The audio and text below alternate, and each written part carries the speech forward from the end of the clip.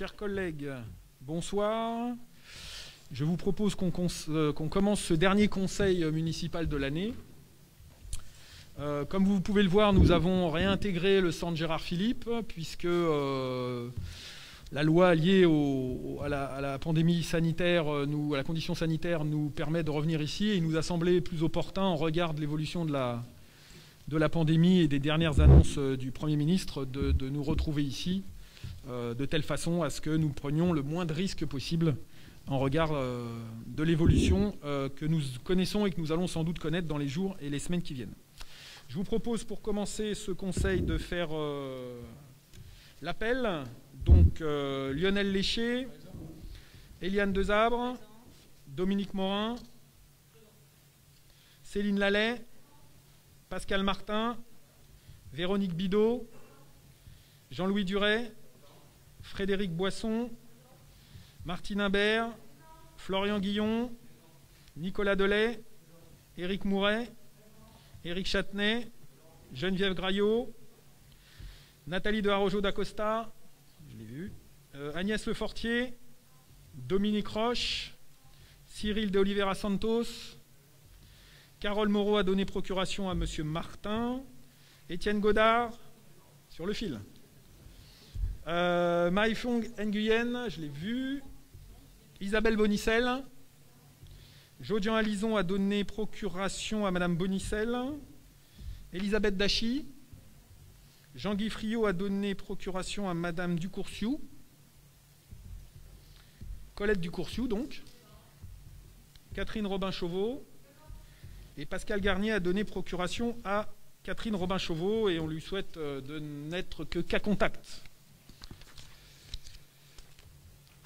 Je vous propose de désigner comme secrétaire de séance, alors nous avions eu Madame Dachi, Madame Robin-Chauveau, Monsieur Léchier, Madame Bidot, bah, je vous propose Monsieur Guillon, s'il en est d'accord et si, euh, chers collègues, vous en êtes euh, tout, autant d'accord.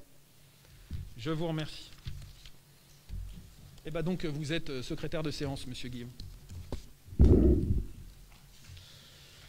Donc aujourd'hui, nous avons 16 points à l'ordre du jour. Euh, avant de commencer euh, ce conseil, j'aimerais vous faire part de, ma volonté d'apporter mon soutien plein et entier à notre collègue Perrine Goulet et à l'ensemble des élus de France et de Navarre qui subissent, euh, notamment via les réseaux sociaux, insultes, menaces de mort et autres colibés. ça me semble important de le dire, surtout dans la période, parce que on le voit, les élus que nous sommes, les dizaines de milliers d'élus que nous sommes, euh, malgré des fois euh, euh, les, oppositions qui peuvent être les nôtres, dans les débats, dans nos convictions, dans nos prises de parole et dans, notre façon de voir la société, bah, sont souvent attaqués de façon grossière, des fois menaçante.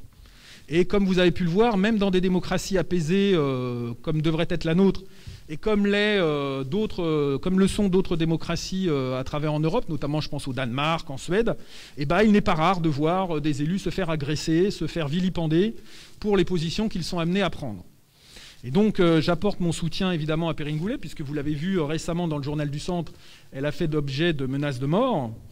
Donc je voulais, à l'entrée de, ce conseil municipal, réitérer mon soutien à toutes celles et ceux qui donnent de leur temps qui ont fait le choix d'avoir euh, une expression publique, qui ont fait le choix de s'investir pour euh, les citoyens et les citoyennes que nous représentons.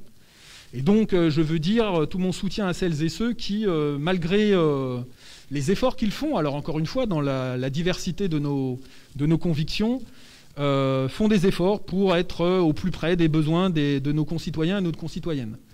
Et je condamne fermement et je pense que vous associerez avec moi dans cet élan, je condamne fortement tous les, hypocrites, euh, les, donneurs de leçons qui, cachés derrière un pseudo euh, Facebook, un pseudo euh, Twitter, se permettent ici de dire toute la haine qu'ils ont en direction des uns et des autres, ici des fois de prendre des photos à l'insu des gens et de les mettre sur les réseaux. Vous voyez, tout récemment, moi, des gens sont venus jusqu'à chez moi prendre une photo de ma voiture et la mettre sur les réseaux sociaux en demandant quoi? En disant quoi? Que les élus sont corrompus, que les élus euh, sont des mauvaises personnes? Qu'est-ce que ça veut dire ça? Et je crois qu'il faut le condamner fortement parce qu'il euh, n'y a pas de petite agression. Et comme on peut le voir, les petites agressions, les petites agressions verbales, les petites agressions comme ça pour mettre à la vindicte euh, les uns et les autres, les élus que nous sommes, à la vindicte euh, anonyme de ces réseaux dits sociaux, eh ben ça finit des fois, malheureusement, par conduire à ici une agression physique, ici un assassinat, ici je ne sais trop quelle dérive violente. Et donc je pense que nous devons collectivement euh, dans le dialogue, bien évidemment, dans, le respect de nos contradictions et de nos, euh, échanges, bah, faire en sorte de faire comprendre à toutes et à tous que non, les élus ne sont pas corrompus, non, les élus ne sont pas là que simplement pour euh, leurs besoins et leurs satisfactions personnelles, ils sont là pour rendre service. Encore une fois, des fois, on peut être en contradiction. Mais en tout cas, il nous faut collectivement dire non à ces formes de dérives que nous constatons régulièrement.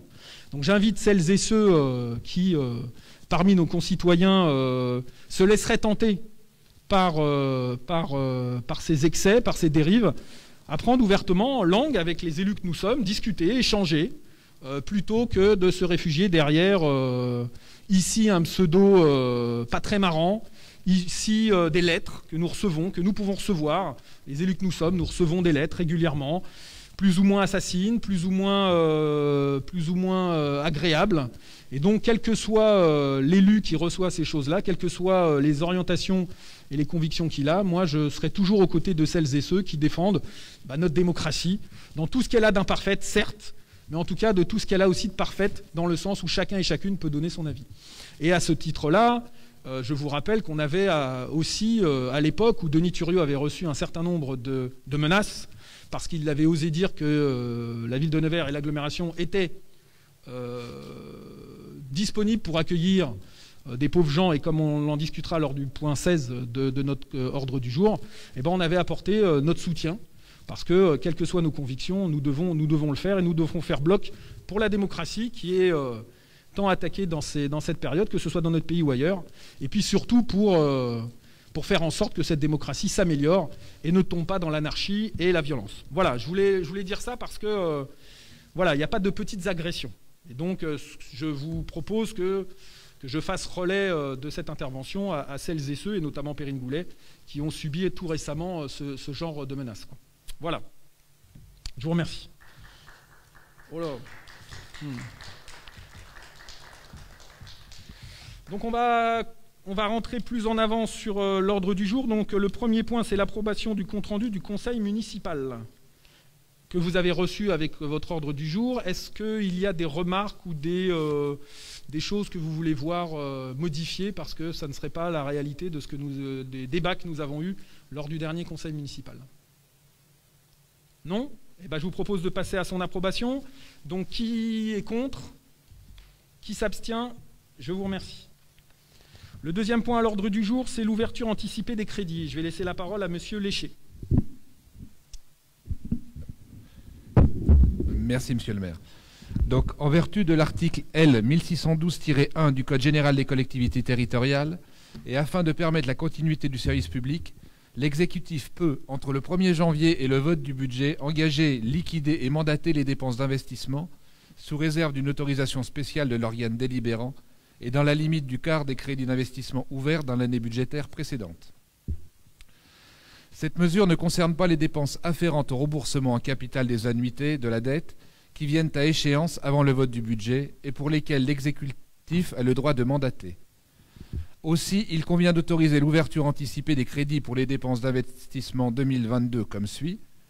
Donc en immobilisation corporelle pour un montant de 28 675 euros, en subvention d'équipement pour un montant de 11 300 euros, en immobilisation corporelle pour un montant de 204 662 euros et en immobilisation en cours pour un montant de 93 000 euros, ce qui nous donne un total de 337 637 euros. Les crédits ouverts à cet effet permettront de procéder aux dépenses suivantes. Tout d'abord l'acquisition de véhicules, notamment pour le service de la police et la régie municipale, c'est l'article 2182 de 60, pour 60 000 euros. L'acquisition de logiciels gestion des accès, c'est l'article 2051 pour 6 000 euros. Les travaux d'éclairage public, avenue Montorge, c'est l'article 21 534 pour 10 500 euros.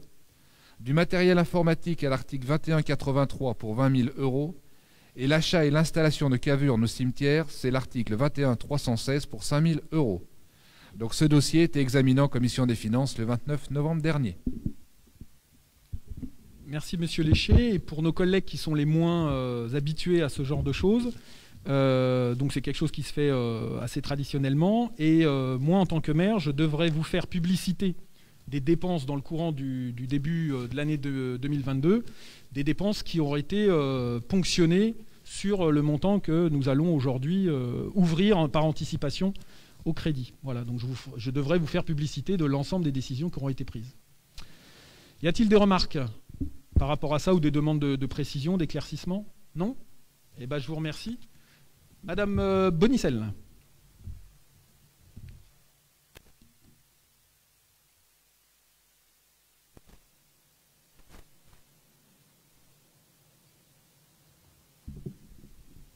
Bonjour, à... ça marche? Bonjour à toutes et à tous, ça marche. Euh, donc euh, voilà, nous, on n'a pas d'opposition. On n'a pas d'opposition sur l'ouverture de crédit, puisqu'il faut bien que la mairie continue de fonctionner. C'est juste des précisions. il a été question d'une voiture qui ne serait plus une voiture électrique pour la police municipale, éventuellement une hybride. je ne suis pas persuadée que ça soit une avancée environnementale de reprendre une hybride, puisque l'essence qui sera consommée sera productrice de CO2. Euh, d'un autre côté, euh, il existe aujourd'hui des batteries beaucoup plus performantes. C'est vrai qu'on avait une batterie qui faisait euh, à peine 100 km.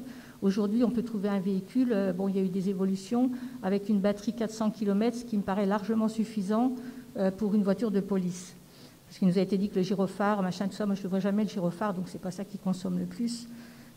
donc voilà, je serais assez favorable enfin, je serai vigilante, nous serons vigilants sur les choix qui seront faits et qu'on n'ait pas de recul environnemental sur ce domaine, ce qui serait vraiment dommage. Euh, j'aimerais aussi connaître le véhicule qui sera, enfin vous nous le direz peut-être plus tard, mais bon, ça aurait été bien qu'on sache aujourd'hui le véhicule relatif à la régie dont il est question. Et puis, euh, nous vous avions demandé sur un précédent conseil, justement, puisqu'il était question que nous n'avions pas fait les investissements nécessaires, j'aimerais que vous nous redonniez, ça avait été demandé, la liste de tous les, les, tous les véhicules achetés durant notre mandature. Et, donc, comme je suis à redemander des documents, euh, lors du vote du budget euh, au printemps, euh, il y a un document qui avait été présenté alors qu'il n'avait pas été présenté en commission, un diaporama que nous avions demandé parce qu'il était passé rapidement, donc nous on avait déjà eu assez de mal à lire. J'ai Madame Ducourtou qui a des problèmes de vision.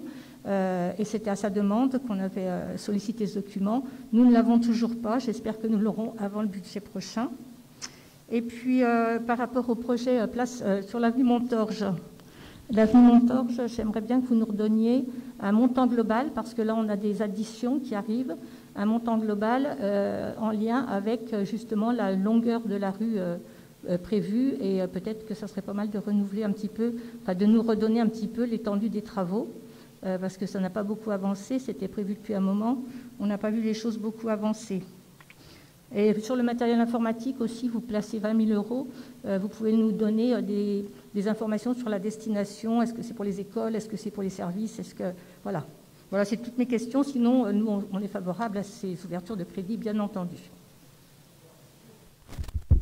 sur, euh, sur, le, sur les véhicules. Alors effectivement, euh, actuellement, enfin, vous savez que le, le, véhicule de la police municipale, malheureusement, nous avons connu un sinistre, un accident où nos policiers municipaux euh, n'étaient pas en tort, donc l'assurance est en train de, remettre les choses en place. Et le, véhicule que nous avions était sous, autonome par rapport à l'utilisation qui pouvait en être faite que ce soit en hiver ou en été. Et donc, euh, effectivement, euh, la solution électrique euh, nous interroge. Donc, actuellement, on est en train de faire un travail par rapport, effectivement, à l'électrification ou pas, ou pas, d'un certain nombre de nos véhicules. Et celui de la police municipale, pour l'instant, nous sommes en train de réfléchir à effectivement quel est le vecteur énergétique le plus efficace. Parce qu'il il nous faut une autonomie, il nous faut, il nous faut un certain nombre d'éléments. Alors l'hybride ou la solution électrique euh, s'interroge. Il y a aussi la durée de, chargement. Moi, j'ai un véhicule électrique et je sais ce que c'est. quoi.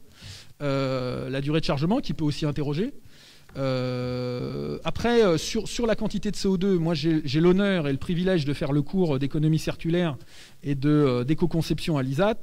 Et quand on fait globalement le bilan ou l'analyse quantitative et qualitative du cycle de vie d'une batterie, d'une voiture électrique et d'un moteur thermique, et ben, quand on y regarde de plus près, c'est pas si évident que ça. Et d'ailleurs, à ce, titre-là, le, nouveau, enfin, le président de Stellantis, euh, et notamment euh, M. Tavares, se pose énormément de questions sur le véhicule électrique aussi. Non pas sur euh, l'utilisation de, de carburants fossiles, mais sur l'ensemble du cycle de vie. Donc on doit aussi prendre en considération ces éléments-là. Donc c'est pour ça que notre réflexion, elle doit être liée effectivement à l'utilisation, la consommation d'essence ou pas, et puis plus globalement sur l'ensemble du cycle de vie. En tout cas, c'est ce que j'essaye euh, d'inculquer à mes élèves. Donc ça, c'était sur le véhicule. Sur euh, l'avenue Montorge. euh, Ah oui, sur la régie municipale, c'est un camion plateau. Pardon. Vous m'avez posé cette question? Ouais. C'est- un camion plateau.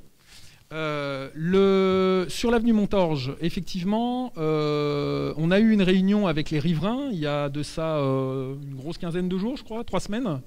Donc on leur a présenté le, projet. Ils ont été euh, unanimement satisfaits de ce que nous allions leur proposer, euh, notamment avec une partie où on va redonner de la place à la végétation. Et donc euh, les travaux dans leur globalité, ça doit tourner sur le bas de l'avenue Montorge autour de 80 000 euros. 80 000 euros. Et dans ces 80 000 euros, l'éclairage public, vous savez, qui fait partie euh, du, euh, plan pluriannuel d'investissement au niveau euh, de l'éclairage public, et d'ailleurs qui vient à terme euh, en- dans le courant de l'année 2022, et bah, euh, les travaux d'éclairage font partie effectivement euh, de ces éléments-là. Voilà. Il y a quatre candélabres sur euh, l'avenue Montorge. Enfin, le bas de l'avenue Montorge, pardon. Voilà. Ensuite, euh, le matériel informatique, c'est. euh, on doit rapidement changer l'onduleur de la mairie. Vous savez qu'un onduleur, ça sert entre autres à garantir, euh, notamment lorsqu'il y a des micro-coupures ou des coupures d'un certain d'une certaine durée euh, électrique, et bah, que nos ordinateurs et l'ensemble des serveurs ne, euh, ne soient pas mis en rade. Donc on doit changer impérativement cet onduleur parce qu'il est extrêmement ancien et il, il faut le mettre en concordance avec les nouveaux équipements informatiques que nous avons déployés dans la, dans la mairie. Et donc voilà, il nous faut le faire rapidement parce que pour le coup, pour l'instant il fonctionne. Il est très âgé, je ne me rappelle plus exactement de, sa, vie entière, mais euh, voilà, ça peut, lâcher à n'importe quel moment. Quoi. Et ça, ça pose un vrai problème euh, par rapport aux, données informatiques et à la continuité du service public, euh, notamment par rapport à, tout ce qui touche à l'informatique de près ou de loin. Il y en avait une dernière. Non, c'est bon? Ah bon, voyez. Donc voilà. D'autres remarques ou d'autres questions Ou interrogations hein? Non? Eh ben, je vous propose de passer au vote. Donc, euh, qui est contre cette ouverture anticipée de crédit? Qui s'abstient? Eh ben, je vous remercie et comme je vous l'ai dit, je ferai publicité euh, au moment venu, euh, lorsque nous aurons besoin, en début d'année 2022, de, de procéder à un certain nombre de dépenses sur cette ouverture de crédit. Nous allons passer à la décision, euh, à la délibération numéro 3, la décision modificative du budget principal. Je laisse euh, à nouveau la parole à Monsieur Léché. De nouvelles modifications budgétaires et financières sont à prendre en considération sur le budget principal de la ville. C'est pourquoi il vous est proposé d'ouvrir une décision modificative. Concernant les dépenses de personnel, il s'agit de prendre en considération une régularisation sur les contrats d'apprentissage, le remplacement d'une ADSEM ainsi qu'un agent de la régie pour raison de santé, la prise en compte de deux contrats PEC, parcours emploi compétences, qui seront subventionnés par les services de l'État, l'augmentation des horaires des, animateurs pour le nombrassage des enfants dans les écoles suite à la reprise de la cinquième vague du Covid, ainsi que l'augmentation du SMIC à compter du 1er octobre 2021, qui a engendré une revalorisation des grilles indiciaires des agents classés sur les échelles C1 et C2. Concernant les recettes de fonctionnement, des régularisations peuvent être apportées suite au remboursement de l'assurance du personnel pour les absences en raison d'accidents de service, la vente de coupes de bois qui n'étaient pas connues au moment du budget supplémentaire et la prise en compte de l'aide de l'État pour les contrats d'apprentissage, ainsi qu'une régularisation sur les droits de mutation. Ce dossier a été examiné en commission des finances le 29 novembre dernier. Aussi, il vous est proposé de prendre une décision modificative sur le budget de la ville comme suit.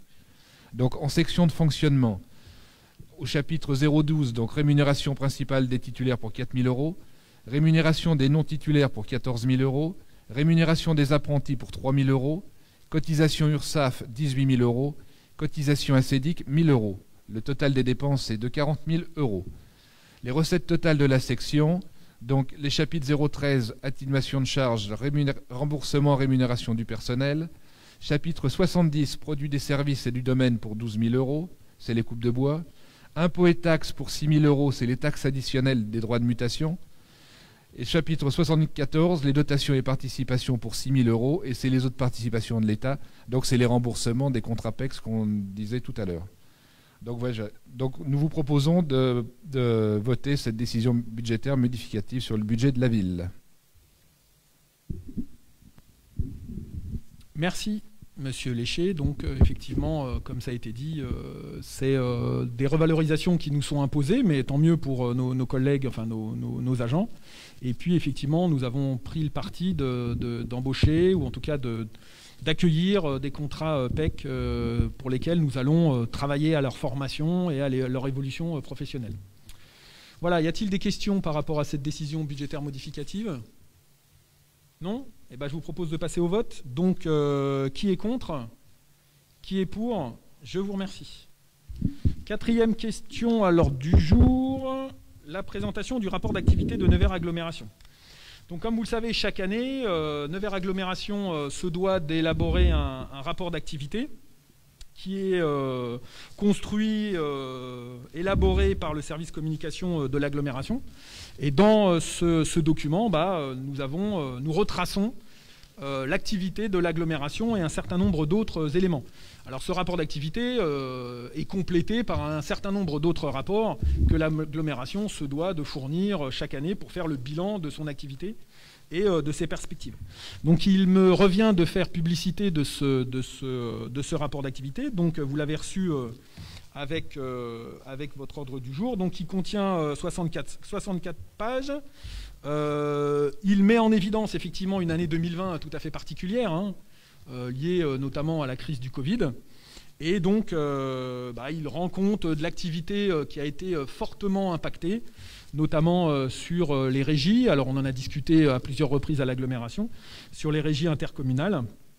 Euh, et donc un, un rapport d'activité 2020 tout à fait particulier qui, qui, qui, mérite d'être malgré tout lu. Alors je, sais que vous êtes des gens sérieux, donc vous l'avez lu avec gourmandise et, et efficacité.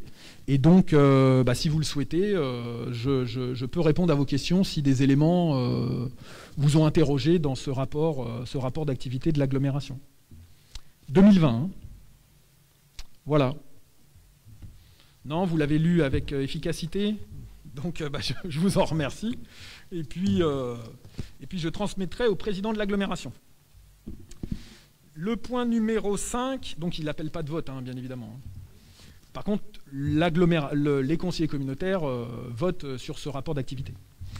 Euh, la question numéro 5, donc modification statutaire, la restitution de la compétence optionnelle en matière de création ou aménagement et entretien de voiries d'intérêt communautaire, création ou aménagement et gestion de parcs de stationnement d'intérêt communautaire de Nevers Agglomération. Alors je ne vais pas vous lire la délibération, sauf si vous me le demandez euh, avec, euh, avec vigueur, mais comme vous le savez, à la création des intercommunalités, le législateur a construit des compétences, a réparti des compétences entre les communes, les départements, les régions et les intercommunalités, et notamment dans le cadre de entre les communes et les intercommunalités. Et historiquement, à la création des intercommunalités et puis au fil du temps, les intercommunalités ont dû prendre un certain nombre de compétences, des compétences obligatoires, des compétences optionnelles, des compétences facultatives. Et il y avait un mix à équilibrer suivant la strate de cette intercommunalité. Nous, nous sommes une, intercommunalité d'agglomération, donc on avait un certain nombre de compétences à accueillir. Bon.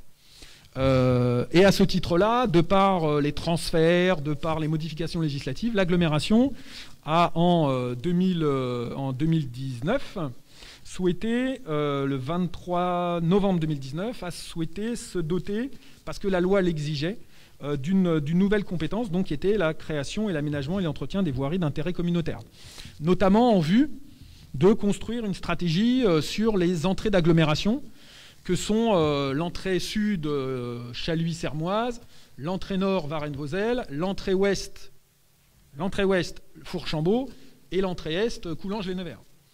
Et donc, euh, l'agglomération avait pris cette compétence. Et puis, dans le cours des discussions que nous avons eues en 2020, notamment par rapport à l'entrée sud, s'est posé la question de la maîtrise d'ouvrage et de qui allait se, positionner pour euh, construire ce projet autour de l'entrée sud. Et par extension, plus tard, sur les autres entrées. Et très rapidement, euh, on aurait pu s'en douter en 2019, mais bon, c'est comme ça. Et ben, on s'est aperçu que ces quatre entrées de ville, euh, ces quatre entrées d'agglomération étaient des routes départementales. Et l'agglomération ne peut pas euh, se doter d'une compétence sur des voiries qui lui appartiennent pas. Bon. On aurait pu, donc on en a discuté au bureau communautaire, on en a discuté en, en conférence des maires, et on s'est posé la question, puisque maintenant la loi n'oblige plus euh, cet équilibre de compétences et donc euh, euh, sur le caractère caduque ou pas de cette compétence. Et donc on- nous avons décidé, et c'est ce que nous proposons là, d'ailleurs l'agglomération a déjà délibéré sur cette question, de rendre cette compétence puisque nous ne pouvions pas l'affecter là où initialement il était prévu de l'affecter sur des routes départementales. Alors on aurait pu garder cette compétence à l'échelle de l'intercommunalité pour que nous, communes, nous cédions, nous transférions des, voiries communales.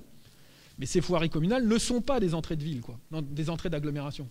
Donc très rapidement, euh, la majorité, si ce n'est l'unanimité des maires, a dit bon bah autant rendre cette compétence, puisque de toute façon nous ne l'exerçons pas en tant que telle. Et pour les aménagements des entrées de ville et des entrées d'agglomération futures, nous devrons engager une discussion avec le conseil départemental, ce qui a déjà été euh, amorcé, pour voir comment et qui pourra faire quoi sur ces voiries euh, importantes pour notre agglomération, qui pourra prendre la charge de la maîtrise d'œuvre, qui pourra financer, comment et pourquoi? Donc ce soir, euh, je vous propose euh, de façon comment dire, concordante avec la délibération de l'agglomération de valider ce retour de compétences dans les communes et pour, libérer l'agglomération de Nevers de cette compétence qu'elle ne pourra pas exercer sur les, les- les- les voiries euh, initialement euh, envisagées. Voilà. Donc c'est un retour de compétences euh, dans les communes. Je ne sais pas si j'ai été clair, mais je suis à votre disposition si vous avez des questions, des interrogations.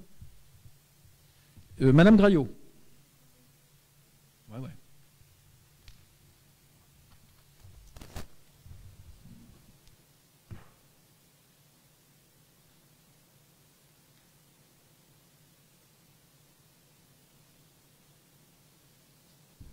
Bonsoir tout le monde. Je voulais simplement demander, lorsque vous- les projets ont été élaborés, est-ce qu'il y a eu des plans d'élaboration? Des plans? Euh, pour les aménagements des entrées d'agglomération? Oui, Alors actuellement, le, le seul travail qui est mené, parce qu'il était déjà envisagé dans le mandat précédent, c'est euh, l'aménagement de l'entrée sud. Chaluis, euh, la, la, Ah oui. la- la rue de Lyon. Donc il n'y aura pas de travail de fait là-dessus? Ah si, si, si. Si Non, non, je me, je me suis mal exprimé. En fait, on rend, on rend euh, aux communes cette compétence parce que l'agglomération ne peut pas l'exercer. Néanmoins, le travail sur l'aménagement, le premier, le, le premier travail sur l'aménagement de l'entrée sud est en cours. est en cours. Et Donc- qui est-ce qui va régler la note? Parce que C'est une très bonne question, Madame Graillot. Je vous remercie de me l'avoir posée.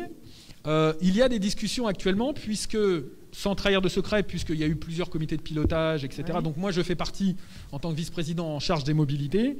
Euh, le coût qui a été annoncé, euh, notamment au conseil communautaire, je crois à un conseil communautaire, c'est à peu près 11 millions d'euros. 11 millions d'euros 11 millions d'euros pour refaire l'ensemble de l'entrée sud, du Oui. pont de Loire jusqu'au rond-point euh, près de l'échangeur. Oui. Donc effectivement, il y a des discussions actuellement pour savoir comment cette chose-là va être financée, à quel rythme, oui. avec quel type d'aménagement, euh, quel phasage.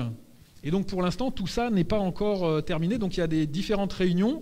Il y a quatre, il y a, il y a quatre morceaux de cette entrée. Il y a euh, la partie Nevers, hein, vous savez, euh, au-delà du, du pont de Loire. Il y a une autre partie qui nous amène jusqu'au stade du Pré-Fleury.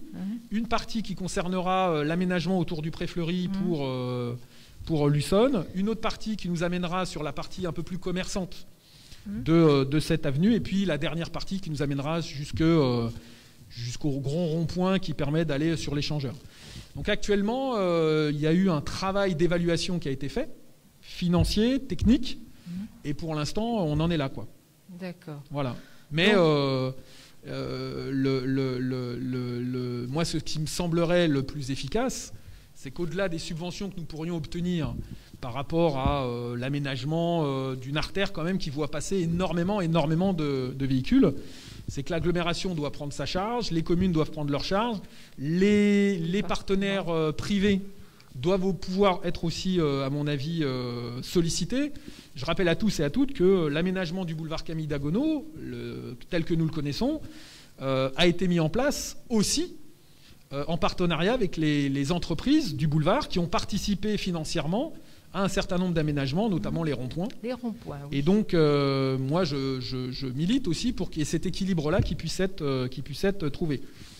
Après, il y a un autre partenaire qui est le département, puisque, comme je vous le Oui. disais, c'est une route départementale. Et donc, il y a un dialogue qui est en train d'être mis en place. Oui, quoi. parce que le département n'a pas pris en charge, n'a pas prévu de réhabiliter cette partie. Alors, moi, je ne suis pas conseiller départemental, donc je ne sais pas. Voilà. Bon, c'est des questions qui sont à l'ordre du jour, je sais pas. oui. Non, il y a des discussions. Il y a des discussions. le président de l'agglomération a rencontré le président du conseil départemental. Donc on avait commencé par Chaluis, mais on n'avait pas fait d'autres plans d'aménagement. Pour l'instant, non. D'accord. Pour l'instant, non. Mais euh, ça a vocation à le devenir. hein. D'autres questions? Eh ben, je vous propose qu'on passe au vote hein, de façon concordante avec l'agglomération. Qui est contre? Ce retour d'une compétence dans les communes C'est rare, mais euh, c'est à noter. Euh, qui s'abstient Et ça coûte rien, oui, pour le coup. Euh, qui s'abstient Personne, je vous remercie. Nous allons passer à la délibération numéro 6, l'attribution de compensation 2021 Nevers Agglomération, et j'ai l'extrême plaisir de laisser la parole à Madame Lefortier, membre de la de l'agglomération, avec Monsieur De Oliveira. Bonsoir. Alors, la communauté d'agglomération de Nevers soumise à l'application de l'article 1609 non-issé de Code général des impôts, oui, reverse à ses communes membres une attribution de compensation. Elle ne peut être indexée, mais elle peut cependant évoluer en fonction du montant des charges éventuellement transférées consécutives à des transferts de compétences ou à une définition de l'intérêt communautaire qui conduirait Nevers, agglomération, à assurer des missions plus larges. Le mécanisme des attributions de compensation a été créé par la loi euh, numéro 92-125 du 6 février 1992 relative à l'administration territoriale de la République. Il a pour objet de garantir la neutralité budgétaire des transferts de ressources opérés lorsqu'un établissement public de coopération intercommunale opte pour le régime de la fiscalité professionnelle unique et lors de chaque transfert de compétences entre l'EPCI et ses communes membres. Ce mécanisme est prévu au 4e et 5e de l'article 1609 non-issé du, du Code général des impôts. D'autres articles. D'autre part, l'article L5211-42 du CGCT prévoit qu'en dehors de toute compétence transférée, un EPCI à fiscalité propre et une, plusieurs communes membres peuvent se doter de services communs. Lorsque ce service commun est porté par un EPCI à fiscalité professionnelle unique, il est possible de financer cette mutualisation de services soit par le biais de la refacturation, soit, par une imputation directe sur le montant de l'attribution de compensation déjà versée par cette EPCI. L'article 1609 non-issé du Code général des impôts précise que le montant des charges transférées est évalué par la Commission locale d'évaluation des transferts de charges, donc la CLET. Cette commission permanente est amenée à se prononcer tout au long de la vie du groupement en cas de nouveau transfert de charges.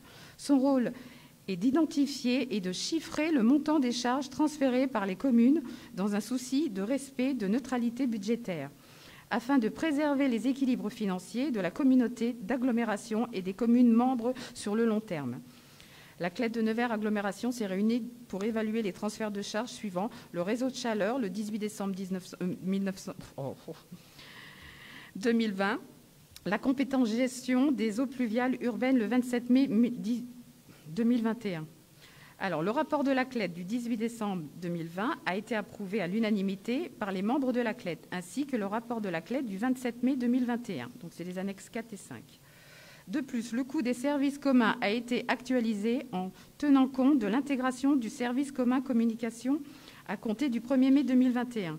Ces rapports ont été approuvés par délibération concordante des communes membres de la majorité qualifiée, soit les deux tiers des communes représentant plus de la moitié de la population ou la moitié des communes représentant des deux tiers de la population. Jusqu'en 2020, les attributions de compensation étaient imputées uniquement sur la section de fonctionnement. Au fur et à mesure, les transferts de compétences des attributions de compensation diminuent. C'est une commune, à transférer si une commune a transféré peu de fiscalité des entreprises, l'attribution de compensation peut devenir négative. Dans ce cas, c'est la commune qui reverse la part négative à l'EPCI. Donc après, je vous laisse regarder les, euh, les, tableaux. Voilà, vous avez les recettes, les dépenses. Voilà. Maintenant, si vous avez des questions, euh, je vous en prie, monsieur le maire. Merci, madame Le Fortier. Donc effectivement, hein, euh, on en a déjà parlé à plusieurs reprises dans ce conseil et puis dans les, dans les mandats précédents. À chaque fois qu'une qu'une compétence est transférée et qui nécessite un transfert de charge, les communes membres et le, PCI doivent se, rencontrer, doivent discuter et puis à l'issue euh, proposer la CLET, euh, qui est la commission locale d'établissement des, transferts de charges, euh, doit se réunir pour statuer sur ces transferts. Donc effectivement, Madame Le Fortier et Monsieur Olivera siègent pour la ville de Varennes-Vauzelles dans cette CLET. Et donc, euh, discussion a eu effectivement a eu lieu sur le, réseau de chaleur très récemment, et puis plus, plus récemment encore sur le transfert euh, du pluvial. Donc, effectivement, cette attribution de compensation a été euh, gelée à l'époque où il y a eu un transfert de la taxe, la taxe professionnelle. Donc, vous voyez le tableau, je ne sais pas si vous le voyez, oui, vous voyez le tableau. Et donc, au fur et à mesure des transferts, eh ben, il y a eu ponction sur cette, sur cette attribution de compensation. Récemment, pour la ville de Varennes-Vauzelles, ça a été le cas pour la piscine, puisqu'elle a été transférée. Nous avons été ponctionnés euh, de cette somme-là euh, sur notre dotation. Et puis, euh, comme, comme Madame Le Fortier l'a dit, historiquement, c'était ponctionné sur la section de fonctionnement, ce qui posait aussi des problèmes parce qu'il y avait des transferts de, qui étaient plutôt liés à des dépenses d'investissement. Et c'est le cas notamment pour, pour le pluvial. Et donc, euh, voilà, il avait été décidé à l'époque de faire cet équilibre. Donc, vous avez le tableau ici euh, réactualisé. Et comme Madame Le Fortier l'a dit, bah, vous avez euh, quelquefois, c'est le cas pour la commune de Germigny, une valeur négative, puisqu'historiquement, la ville de Germigny avait, transféré peu de choses de par le, transfert de la fiscalité des entreprises. Et le tout nouveau transfert du pluvial amène Germigny à être créditeur de l'agglomération et donc, euh, donc voilà, donc c'est un peu particulier, mais c'est comme ça. Quoi. Et s'il y a d'autres transferts, vous voyez, la, ville de Saint-Esmos, euh, si elle transfère une compétence qui nécessite plus de 4 490 euros de transfert, de fonctionnement, bah, se trouvera aussi en négatif pour que ce service puisse être assuré par l'agglomération de Nevers. Et pour finir, effectivement, Madame Le Fortier a parlé euh, des services communs. Vous savez que dans le cadre de la coopération intercommunale, il y a deux façons de coopérer il y en a plusieurs, mais notamment deux façons. La première, c'est de transférer des, compétences avec le transfert de charges afférents. Et puis euh, le deuxième, c'est la création de services communs. Donc historiquement, la ville de Varennes-Vauzelles est en service commun avec l'agglomération ou avec un certain nombre de communes de l'agglomération, notamment sur les archives. D'accord? Et donc, euh, bah, ça a un coût, ce service commun. Donc, on euh, travaille aussi à travers ces attributions de compensation sur ces services communs. Et le dernier en date, ça a été la mise en place d'un service commun entre Nevers et l'agglomération de Nevers. Voilà. Donc il y a eu euh, sur la partie communication. Euh, donc voilà. Y a-t-il des questions par rapport à ça? Bon, c'est quelque chose d'assez traditionnel. Hein. Alors les clés, c'est pas les, réunions les plus, euh, excusez-moi du terme, mais les plus rock'n'roll, mais c'est fondamental parce que c'est, il faut évaluer au juste prix le transfert de la compétence. Quoi. Et donc, euh, je remercie aussi nos services qui font euh, très bien leur travail de ce point de vue-là et de tous les points de vue d'ailleurs, mais particulièrement là-dessus, parce que sur la compétence pluviale, par exemple, on en a déjà discuté, hein, euh, toute la compétence pluviale n'a pas été transférée à Nevers Agglomération. Il y a des parties de la compétence pluviale qui restent du domaine des, collectivités et des, communes. Quoi. Donc il a fallu trouver cet équilibre-là. Voilà, Donc s'il n'y a pas de questions ou de remarques, je vous propose de passer au vote. Donc euh, qui est contre? Qui s'abstient? Je vous remercie. Je vais laisser la parole à Monsieur Martin pour qu'il vous parle de la Convention territoriale globale, un sujet euh, fondamental.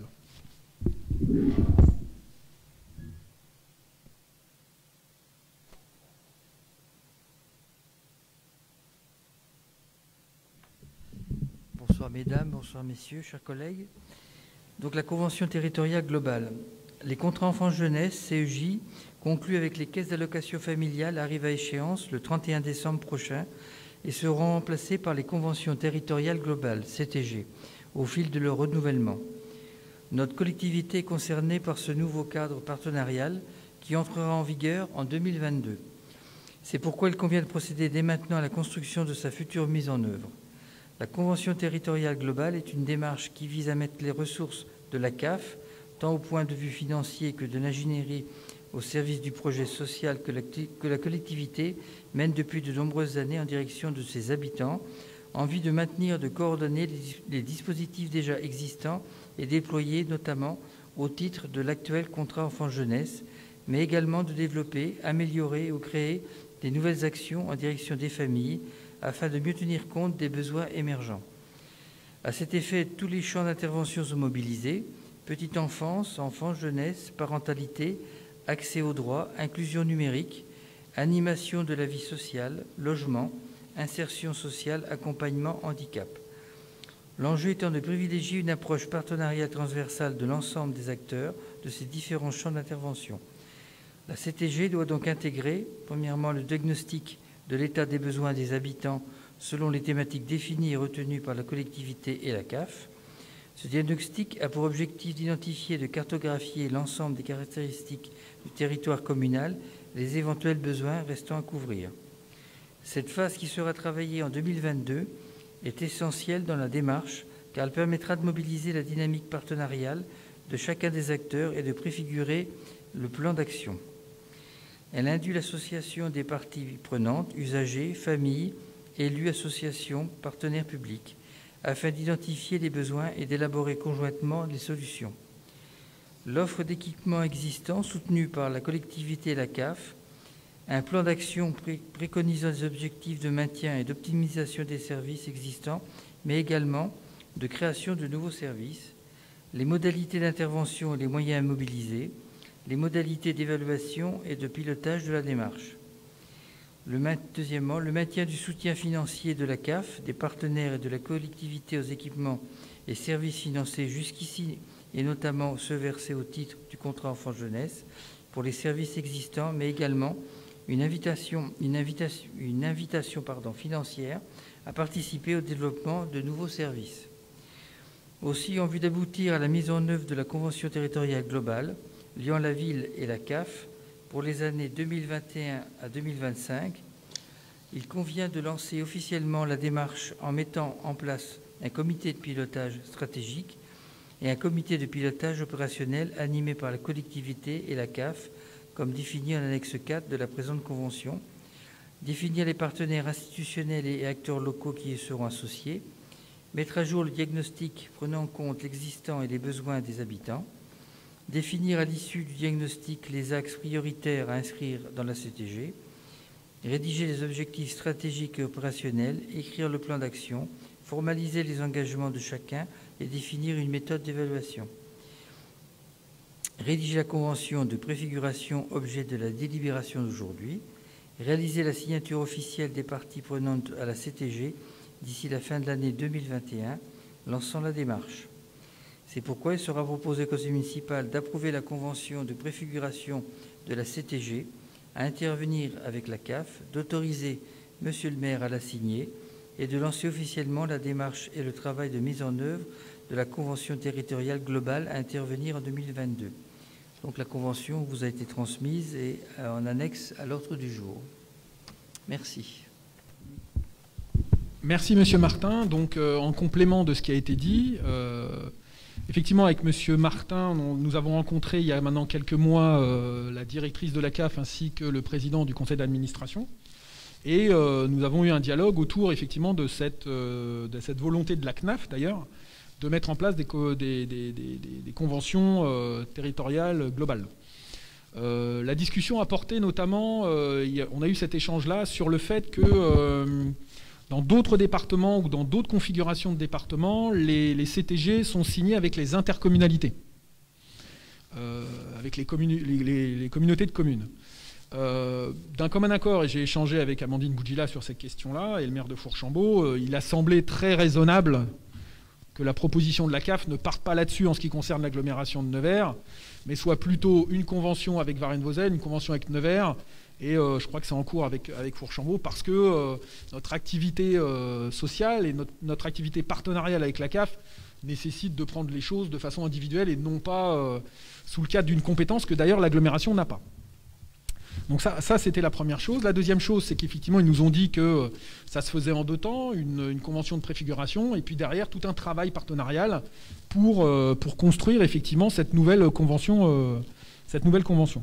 D'ailleurs, à ce titre-là, euh, les retours que, nous avons eus avec M. Martin du travail de notre centre social, qui, je vous le rappelle, est le seul municipal du département, hein, ont été, si ce n'est dithyrambiques, en tout cas, très, très, très, très bons.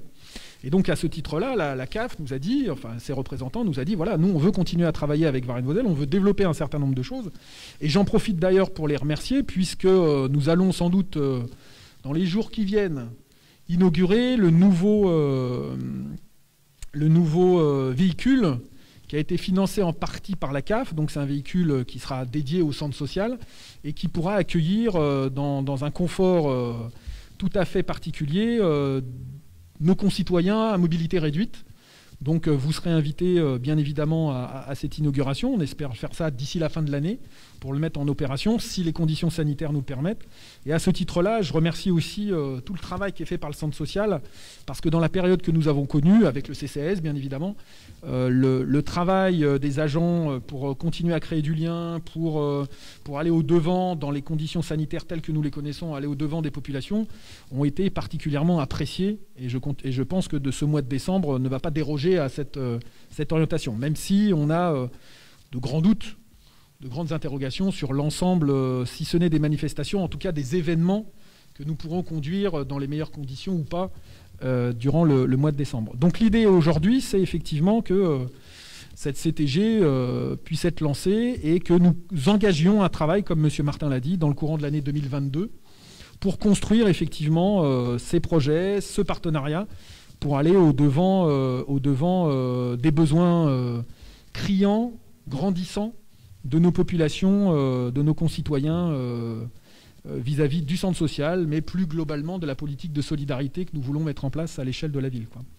J'ai oublié euh, de remercier aussi la CAF, puisque vous savez qu'on avait fait une demande, donc c'était Guillaume Alexandre qui avait porté euh, ça en tant que directeur du centre social. on, avait on, avait fait une demande pour donc, le véhicule dont je vous ai parlé, mais aussi pour de l'équipement informatique. Et donc, on est presque à la fin du processus. Et donc, la CAF nous a suivis sur cette chose-là parce que, effectivement, le Covid a aussi marqué euh, les problématiques d'accès au numérique, de la, fracture numérique. Et donc, euh, on va mettre ça en, place dès que, dès que le, processus sera terminé. Mais en tout cas, on a été soutenu par la CAF sur ces deux éléments-là. Et donc, je voulais les, en remercier. Voilà. Y a-t-il des questions sur cette euh, convention de préfiguration qui ne préfigure pas grand-chose pour l'instant, puisqu'il va falloir qu'on mette du contenu? Madame Bonicel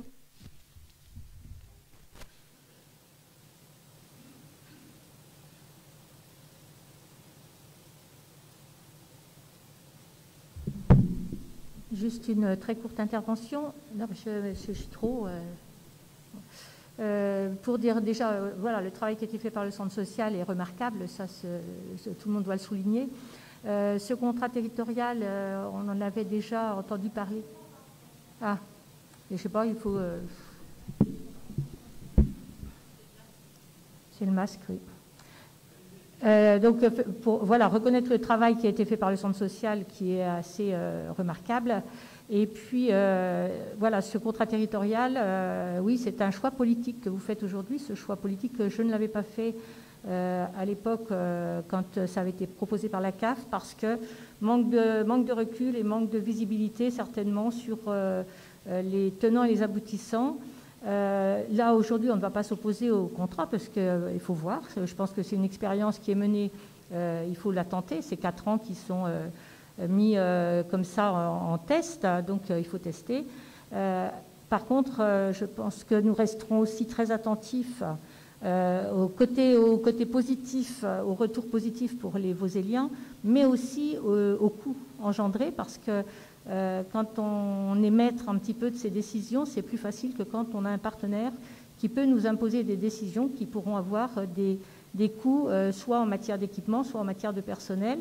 Et même si la CAF est euh, là présente pour cofinancer, elle ne fait que cofinancer, elle ne finance pas entièrement. Voilà, donc nous serons très attentifs euh, aux dépenses engendrées par ce nouveau contrat. Et c'est pour ça que nous ne l'avions pas fait, parce que nous souhaitions garder une certaine autonomie et une certaine liberté, qui peut-être aujourd'hui sera un petit peu plus difficile à voir. Mais c'est à voir. Oui, euh, euh, non, non, non, je crois que vous vous trompez. Il hein. euh, n'y a, aucune mainmise de la CAF dans cette histoire. C'est simplement la CAF, la CNAF, a souhaité remettre dans une seule et même convention l'ensemble des partenariats, des interventions que la CAF fait. Hein. En aucun cas, la CAF ne va décider de la politique de solidarité de Varennes-Vauzelles, ni de son centre social d'ailleurs. En revanche, l'idée, c'est qu'on augmente la lisibilité des actions euh, que nous réussissions à mettre en œuvre avec la CAF, hein, parce que la CAF intervient dans le contrat en phase jeunesse, mais sur plein d'autres dispositifs, c'est simplement de, mettre tout ça en œuvre. Sachant qu'encore, euh, l'habilitation de, notre centre social court encore euh, pendant deux années, je crois. Hein. C'est ça. Hein. Et donc l'idée, là, c'est ça. Et d'autant plus que ce n'est pas une décision locale, c'est une décision nationale. C'est-à-dire que la CAF souhaite, à partir du travail qui va être fait, de euh, faire en sorte que l'ensemble des interventions qui sont les, siennes euh, soient mis sous euh, ces, conventions territoriales globales. Alors, sans doute à des vitesses différentes suivant les collectivités, parce que effectivement, quand vous discutez avec une intercommunalité qui a plusieurs dizaines de communes, avec une, histoire sociale, une histoire de centre social, associatif ou pas, euh, ça prend un peu plus de temps et c'est un tout petit peu plus compliqué que quand on discute avec une, collectivité euh, telle qu'une mairie et qu'une seule mairie. Donc non, il n'y a pas de perte. Euh, vous, vous, doutez bien que je suis, si ce n'est regardant, c'est très regardant sur les prérogatives de la ville de Varennes-Vauzelles, notamment dans le déploiement de ses politiques sociales. Donc voilà, en tout cas, c'est un dialogue qui, à mon avis, va être très intéressant pour se questionner, pour questionner la CAF et pour aller au-devant euh, de nos habitants, puisqu'il y a tout un processus aussi euh, que j'appellerais de consultation, peut-être pas participatif, mais en tout cas consultation euh, des habitants de Varennes-Vauzelles. Donc je pense que c'est plutôt une bonne chose. Après, il faudra être attentif. Alors je crois qu'il y avait Madame Graillot et après Madame Robin Chauveau.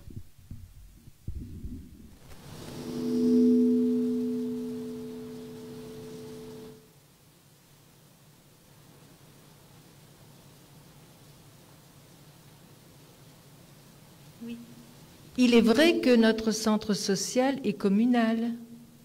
Hein, c'est ça, c'est le seul de la Nièvre. Avant, il y en avait plusieurs. Il y en avait deux.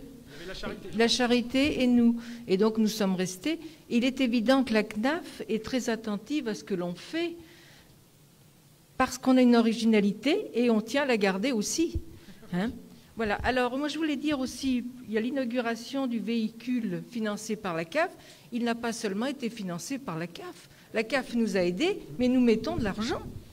Mais c'est pour ça que vous allez être invité, Madame Graillot, euh, à participer à cette inauguration. Je ne dis pas cela pour ça, mais je dis aussi qu'il faut dire quand même que la CAF participe, c'est vrai, hmm. elle participe beaucoup, mais parce que nous aussi, nous participons. Ah voilà. Hein.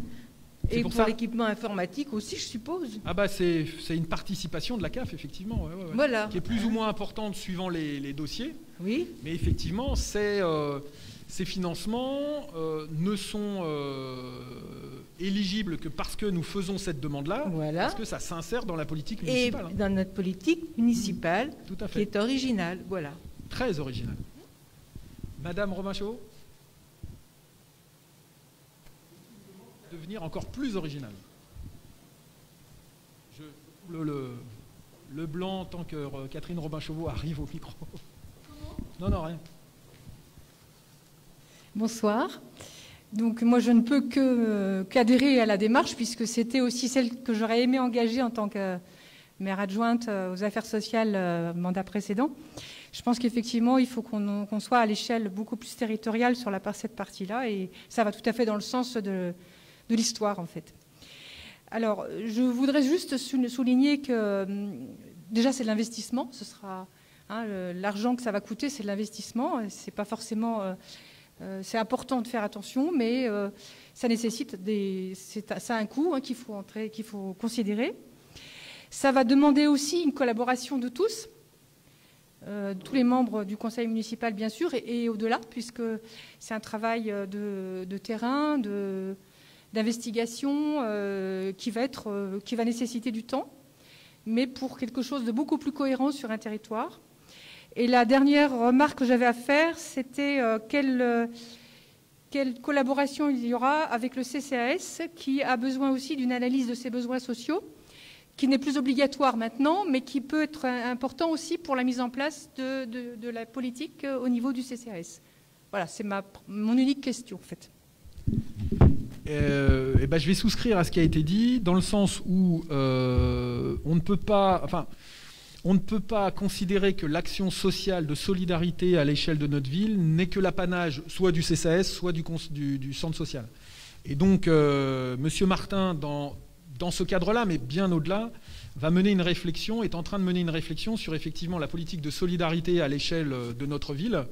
Et donc, fatalement, c'est pas mal, hein, mais euh, les prérogatives, l'organisation, la collaboration, la, fongibilité d'un certain nombre d'actions du CCS et du centre social va être étudiée.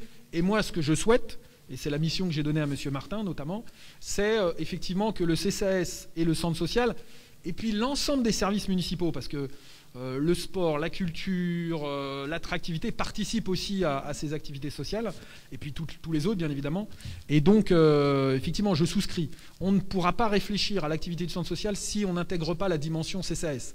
Et comme vous l'avez dit, l'analyse des besoins sociaux n'est plus une obligation, mais nous, on se fera fort malgré tout de la faire. Parce qu'on pense que c'est à partir de ce diagnostic-là et de la, la mise sur le papier de ce diagnostic et des pistes que nous voulons mettre en œuvre qu'on pourra construire avec la CAF, mais avec d'autres. Hein.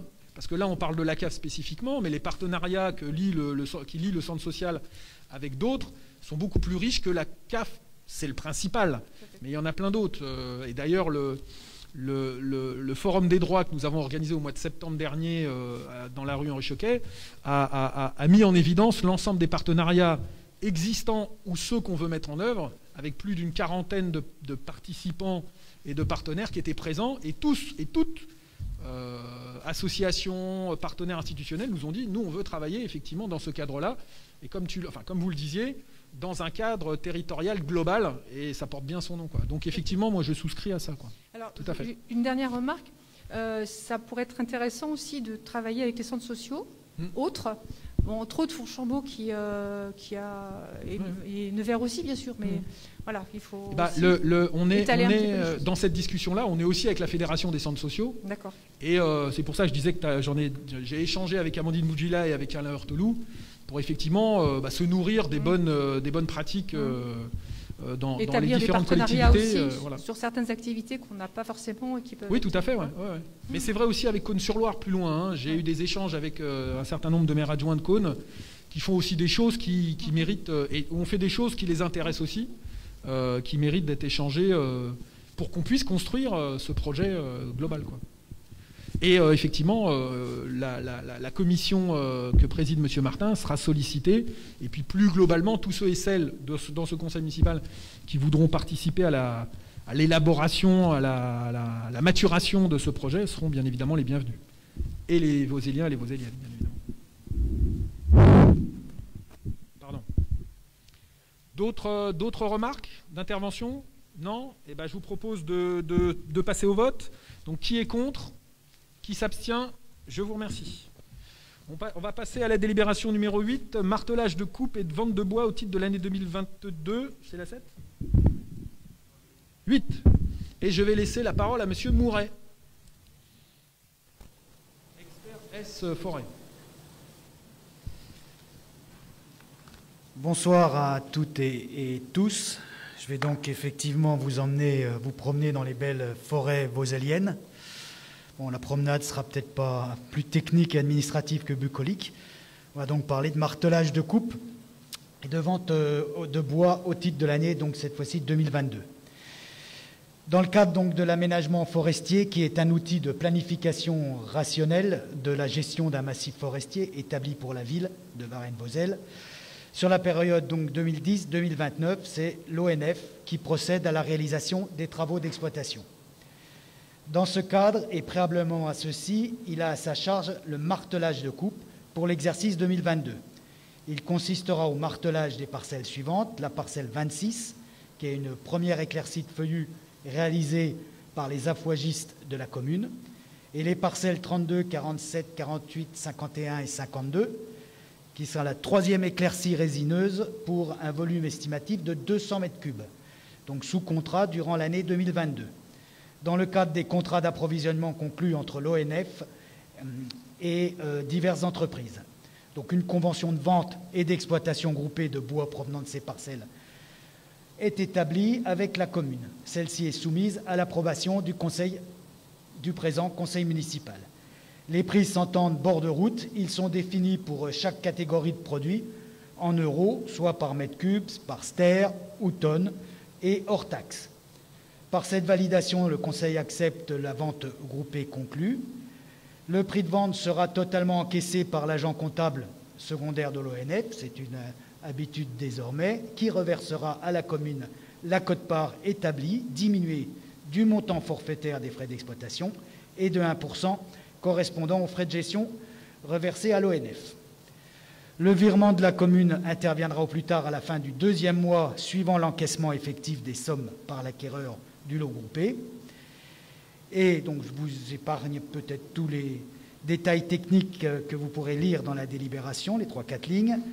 Par ailleurs, l'exploitation par les affouagistes de la commune s'effectuera sous la responsabilité des trois personnes suivantes M. Cholet-Rémy, M. Étienne Jean-Yves et M. Mouret-Éric, votre serviteur. Ce dossier a été examiné en commission transition écologique, urbanisme et espace naturel en date du 22 novembre 2021. Après en avoir délibéré, sera procédé au conseil municipal de demander à l'Office national des forêts de procéder au martelage sus-énoncé et d'autoriser Monsieur le maire à signer la convention de vente et d'exploitation que vous trouverez à l'annexe 7. Je vous remercie. Merci Monsieur Mouret. Euh, et donc vous avez vu dans la délibération précédente que la vente de bois, euh, c'est pas anodin hein, du, point de vue, euh, du point de vue des finances.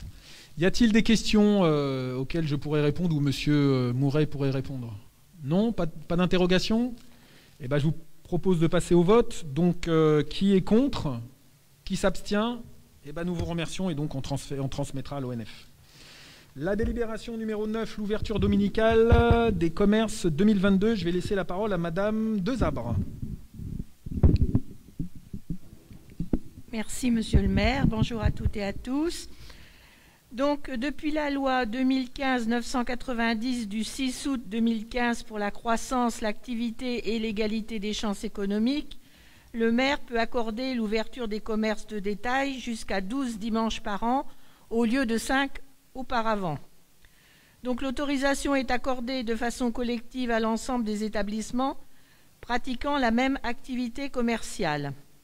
La décision du maire doit être prise après avis du conseil municipal des organisations d'employeurs et de salariés intéressés, et lorsque le nombre de ces dimanches excède 5, après avis conforme de l'organe délibérant de l'établissement public de coopération intercommunale à fiscalité propre dont la commune est membre, c'est-à-dire Nevers Agglomération. À défaut de délibération dans un délai de deux mois suivant la saisine, cet avis est réputé favorable. La liste des dimanches doit être fixée avant le 31 décembre pour l'année suivante. C'est dans ces conditions que la ville a été saisie donc d'une demande pour les dimanches du 16 janvier, 13 mars, 12 juin, 18 septembre et 16 octobre concernant l'ensemble des garages automobiles, d'une demande pour les dimanches du 16 janvier, 26 juin, 16 octobre, 23 octobre, 30 octobre, 6 novembre, 13 novembre, 20 novembre, 27 novembre, 4 décembre, 11 décembre et 18 décembre concernant l'ensemble des commerces de détail autres que l'automobile.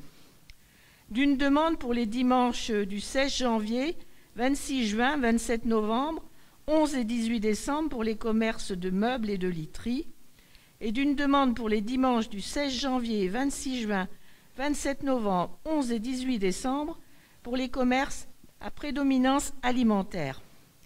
Les organisations d'employeurs et de salariés intéressés ont été sollicitées pour connaître leur avis sur ces quatre requêtes et Nevers Agglomération n'a été consultée que pour les demandes d'ouverture dépensant cinq dimanches pour l'année. Donc ce dossier a été examiné en commission du service attractivité du 18 novembre 2021. Donc il, vous est proposé, il est donc proposé au conseil municipal d'approuver les dates d'ouverture dominicale proposées pour l'année 2022. Donc je voulais ajouter un petit mot à propos de ces, ouvertures. Donc euh, évidemment qu'il faut que les, salariés soient des volontaires, parce qu'évidemment ils sont motivés euh, financièrement, mais pour moi c'est au détriment de leur vie de famille, parce que c'est un gros sacrifice effectivement de travailler un dimanche et de ne pas être euh, en présence de, ses enfants. Merci Madame Desabre. Simplement en complément de ça, euh, on a déjà eu ces débats, euh, ça fait des années qu'on a ces débats. Et euh, la dernière fois que nous avons eu ce débat, l'année dernière, je vous ai dit que nous étions dans une situation intenable. Pourquoi? Parce que, je ne sais pas si vous vous rappelez, mais l'année dernière, bon, le Covid a fait qu'on avait pris une délibération et les autorités préfectorales nous ont dit non, ça sert à rien, le préfet a décidé que de toute façon ça allait être ouvert. Ça interroge. La deuxième chose, c'est que euh, chaque commune est censée faire ce travail-là. Donc nous avons euh, sollicité hein, euh, les organisations patronales, les organisations syndicales. Je regrette que très peu d'entre elles nous aient répondu. D'accord? Bon, c'est comme ça. mais ça nous met dans une situation infernale. Puisque historiquement, effectivement, je vais prendre, je ne sais pas, je vais prendre les concessionnaires automobiles il y avait beaucoup de concessionnaires automobiles sur Varennes-Vauzelles et euh, il y avait une demande qui était faite commune. Maintenant, il y a des concessionnaires, et tant mieux pour l'activité de notre territoire, sur l'ensemble des communes. Or, nous ne sommes pas arrivés, mais je ne désespère pas et je vais solliciter mes collègues euh, pour que nous puissions prendre une position euh, collective. Parce que si, par exemple, le conseil municipal de Varennes-Vauzelles décide de ne pas autoriser deux dimanches les concessionnaires automobiles et que le voisin, qui a aussi des concessionnaires automobiles, les autorise. Comment fait-on pour ne pas être suspecté de faire de la concurrence déloyale euh, d'un côté ou de l'autre quoi? Donc moi, ce que j'en ai déjà discuté avec un certain nombre de collègues de l'agglomération, enfin de maires de l'agglomération, c'est euh, j'aimerais bien qu'on engage un travail pour 2022 pour que, comme Madame euh, Dezab l'a dit, nous soyons très vigilants sur les, équilibres à tenir et que nous puissions avoir, si ce n'est une décision commune, en tout cas une décision concordante parce que, effectivement, euh, vous voyez l'inégalité de traitement qui pourrait découler de décisions totalement contradictoires entre une commune et une autre. Alors nous sommes, euh, nous sommes autonomes, nous prenons les décisions que nous souhaitons, mais vis-à-vis d'un certain nombre de commerçants, notamment dans les périodes de fête, dans les périodes de, euh, d'opérations commerciales nationales, ça pose de réels problèmes. Et ça nous met dans une situation très difficile. Je souscris à ce qu'a dit Madame, euh, Madame. Le travail du dimanche n'est pas en soi euh, souhaitable. Du dimanche, ou en tout cas d'autres. Euh, mais en même temps, ça nous pose ces questions-là. Donc moi, je vais interroger les services de l'État, je vais interroger mes collègues, ce que j'ai déjà commencé à faire, pour que pour 2022, donc pour 2023, nous puissions avoir une position équilibrée, commune, pour que nous ne soyons pas mis en difficulté par rapport à une sorte d'équilibre territorial qui pourrait euh, peser sur telle ou telle activité. Quoi. Voilà. Mais il y a une vraie, une vraie réflexion à avoir.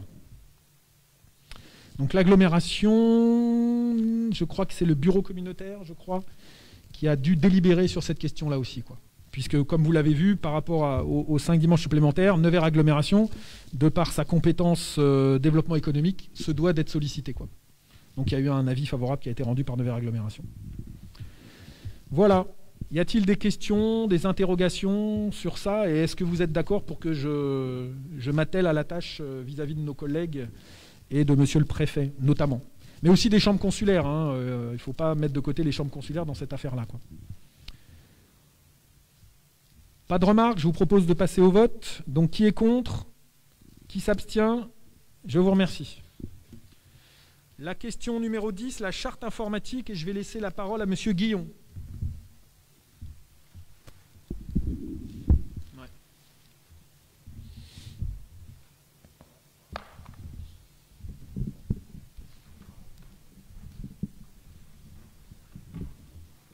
Merci, euh, monsieur le maire. Bonsoir à toutes et à tous.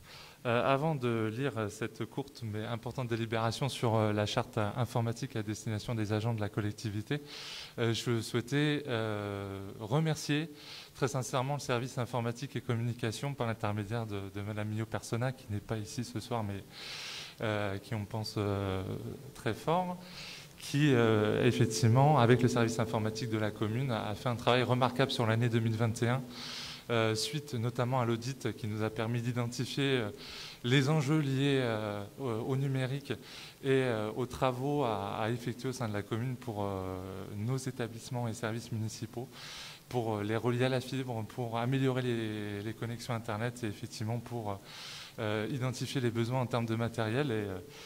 C'est un travail vraiment de fourmi, d'inventaire, d'identification des besoins en collaboration avec tous les services municipaux et, euh, et aussi l'ensemble de nos écoles. Et euh, voilà, je souhaitais sincèrement remercier le- l'ensemble du service informatique pour, euh, leur travail et également euh, Monsieur Delay aussi qui est, un compère et un appui technique sur ce domaine qui est euh, pas inintéressant mais très complexe dans le, vocabulaire et le, jargon. Donc je vais vous, maintenant vous présenter la délibération portant sur la charte informatique. Le développement des technologies de l'information et de la communication conduit le personnel et les élus de la ville à utiliser dans leur travail quotidien l'outil informatique, les réseaux et les services de communication numérique pour l'exécution de leur mission. Ces différents outils offrent également à leurs utilisateurs une ouverture vers l'extérieur et se révèlent être des vecteurs de modernisation de la collectivité et du service public, à condition que leur utilisation soit faite à bon escient et dans le respect des usages et de la législation en vigueur. En effet, une mauvaise utilisation de ces outils peut engendrer des risques d'atteinte à la confidentialité, à la disponibilité et à l'intégrité de l'information et par conséquent du système d'information. Cette utilisation peut comporter un certain nombre de risques à la fois techniques et juridiques pouvant engager la responsabilité de la collectivité et de ses agents. La présente charte, qui est annexée euh, donc à l'annexe numéro 8 de l'ordre du jour, s'inscrit dans une démarche d'information, de sensibilisation, de responsabilisation des utilisateurs des moyens de communication électronique et du système d'information de la ville. Ce dossier a été validé par le comité technique du 23 novembre 2021 et examiné en commission du personnel du 29 novembre 2021. Il sera donc demandé au conseil municipal d'adopter la mise en place de cette charte informatique à destination de nos agents. Merci beaucoup. Merci. Merci Monsieur Guillon. Donc c'est quelque chose qui se fait euh, dans beaucoup beaucoup de structures, entreprises, euh, services publics. Et donc il nous semblait important à l'heure du développement du numérique et, euh, de tout ce qui peut, tout ce que ça peut comporter. hein. On avait déjà fait euh, dans le cadre de l'audit informatique, on vous avait fait publicité euh, des différentes attaques informatiques que euh, la ville euh, et tous les services municipaux avaient fait l'objet durant ces 15 dernières années. Quoi. Et donc, euh, il semble important que nous puissions partager cette charte pour faire en sorte que, euh, bah, euh, comme l'a dit M. Guillon, l'ensemble du processus informatique soit sécurisé et que chacun et chacune puisse avoir conscience effectivement des enjeux qui ne sont pas anodins hein, pour une collectivité. J'étais en au téléphone avec un, collègue maire qui s'était fait pirater euh, effectivement euh, sa ville et on lui demandait une rançon quoi, hein, pour pouvoir débloquer euh, le service de paye, etc. Donc voilà, c'est tous ces éléments-là qui semblent importants. Comme ça a été dit, ça a été présenté au comité technique. Donc là aussi, c'est avec et la commission du personnel, c'est aussi avec les agents qu'on construit ça. Et donc ça, me semble, ça nous semblait important de le passer assez rapidement parce qu'on a une évolution de nos pratiques. Euh, et donc avec le renouvellement de notre parc informatique et le développement des, ac- des activités autour du numérique, il nous semblait important de pouvoir construire cette charte et de la faire partager le plus euh, largement possible. Voilà. Et je m'associe aux remerciements que M. Guillon a, à proférer en direction du service informatique, parce que c'est un véritable travail de fourmi. Et, euh, donc, on a un apprenti hein, qui est là aussi, euh, qui, travaille euh, d'arrache-pied avec notre responsable du service informatique et puis notre, informaticien, qui fait lui aussi un travail remarquable. Voilà. Y a-t-il des questions auxquelles M. Guillon ou moi-même pourrions répondre, ou d'autres, ou M. Delay éventuellement? Non? J'en vois pas? Eh ben, Je vous remercie. Donc, on va passer au vote. qui est contre? Qui s'abstient? Et je vous remercie. Je vais passer la parole à Madame Lallet. Non, si, si, si, bah, euh, voilà. Pour les demandes de subvention 2022 au titre de la culture. Je crois que j'ai pas mangé assez de soupe.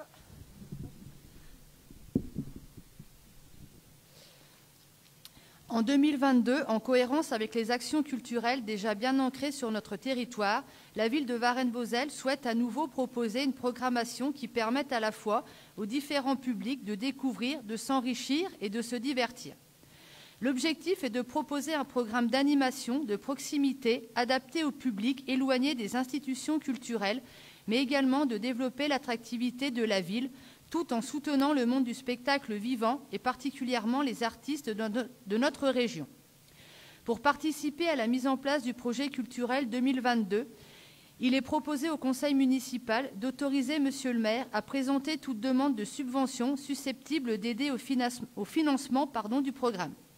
Seront sollicités l'État et Nevers Agglomération dans le cadre de la politique de la ville, le Conseil régional Bourgogne-Franche-Comté, dans le cadre de ses programmes, aide aux structures de diffusion d'envergure intermédiaire et aide à l'aménagement de lieux de diffusion culturelle. Le Conseil départemental de la Nièvre, au titre du programme Aide aux projets culturels, Nevers Agglomération, au titre de son programme de soutien aux projets culturels pour la deuxième édition des Vendredis de l'été. Pour information, ce dossier a été examiné en commission culture et citoyenneté du 24 novembre 2021.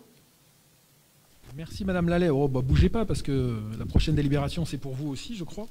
Euh, donc effectivement, là aussi, moi je m'associe au, travail qui a été fait par le service culture sous la responsabilité de Madame Lallet. Donc effectivement, nous avons lancé les vendredis de l'été qui ont été un succès euh, d'estime et de euh, participation on a vu effectivement, moi j'ai eu l'occasion de discuter avec un certain nombre d'acteurs culturels euh, sur le territoire, hein, avec, Philippe Brotteau notamment. Et euh, voilà, ça, a fait parler positivement. Euh, la roulotte fait parler aussi positivement. Le, retour que nous avons pu en avoir, notamment dans le cadre du marché de Noël, malgré le temps un tout petit peu capricieux, euh, est plus que positif et on voit tout doucement que les gens commencent à prendre euh, leurs habitudes avec ce, nouvel outil à, leur disposition dans les quartiers. Euh, rappelez que nous avons été subventionnés par la DRAC hein, sur cet équipement-là, preuve de la qualité de ce qui était proposé et de l'ambition qui était la nôtre. Et comme Madame Lallet l'a dit, bah, l'année dernière, nous avons été accompagnés par un certain nombre d'acteurs institutionnels. Et l'appétit venant en mangeant, nous avons décidé de d'aller au-devant aussi d'un certain nombre de partenaires euh, pour leur demander de nous accompagner dans cette politique euh, culturelle. Euh, Madame Graillot tout à l'heure parlait d'innovant. Je crois que c'est une politique culturelle innovante. À Varennes-Vauzelles, nous l'avons souvent eue, originale et innovante. Et donc, je ne doute pas un seul instant que nous allons être accompagnés au même titre que nous l'avons été en 2021 pour l'année 2022. Voilà. Y a-t-il des questions sur ces demandes de subvention, alors qu'ils ne sont pas exhaustives hein, euh, nous, continuons à travailler avec d'autres partenaires pour euh, être accompagnés? Non Si, euh, je vois pas. Madame Bonicel.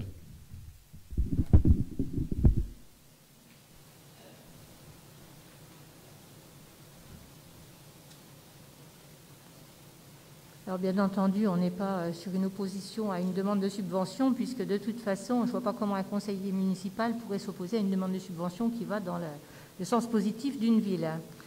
Euh, ceci étant dit, euh, je m'interroge sur l'action qui était menée auparavant, qui s'appelait le Festival des Petits Mozarts, et qui avait cette particularité d'ouvrir ses portes aux enfants des écoles des communes voisines J'aimerais savoir si elle est prolongée ou si elle a disparu des, des réseaux. Voilà.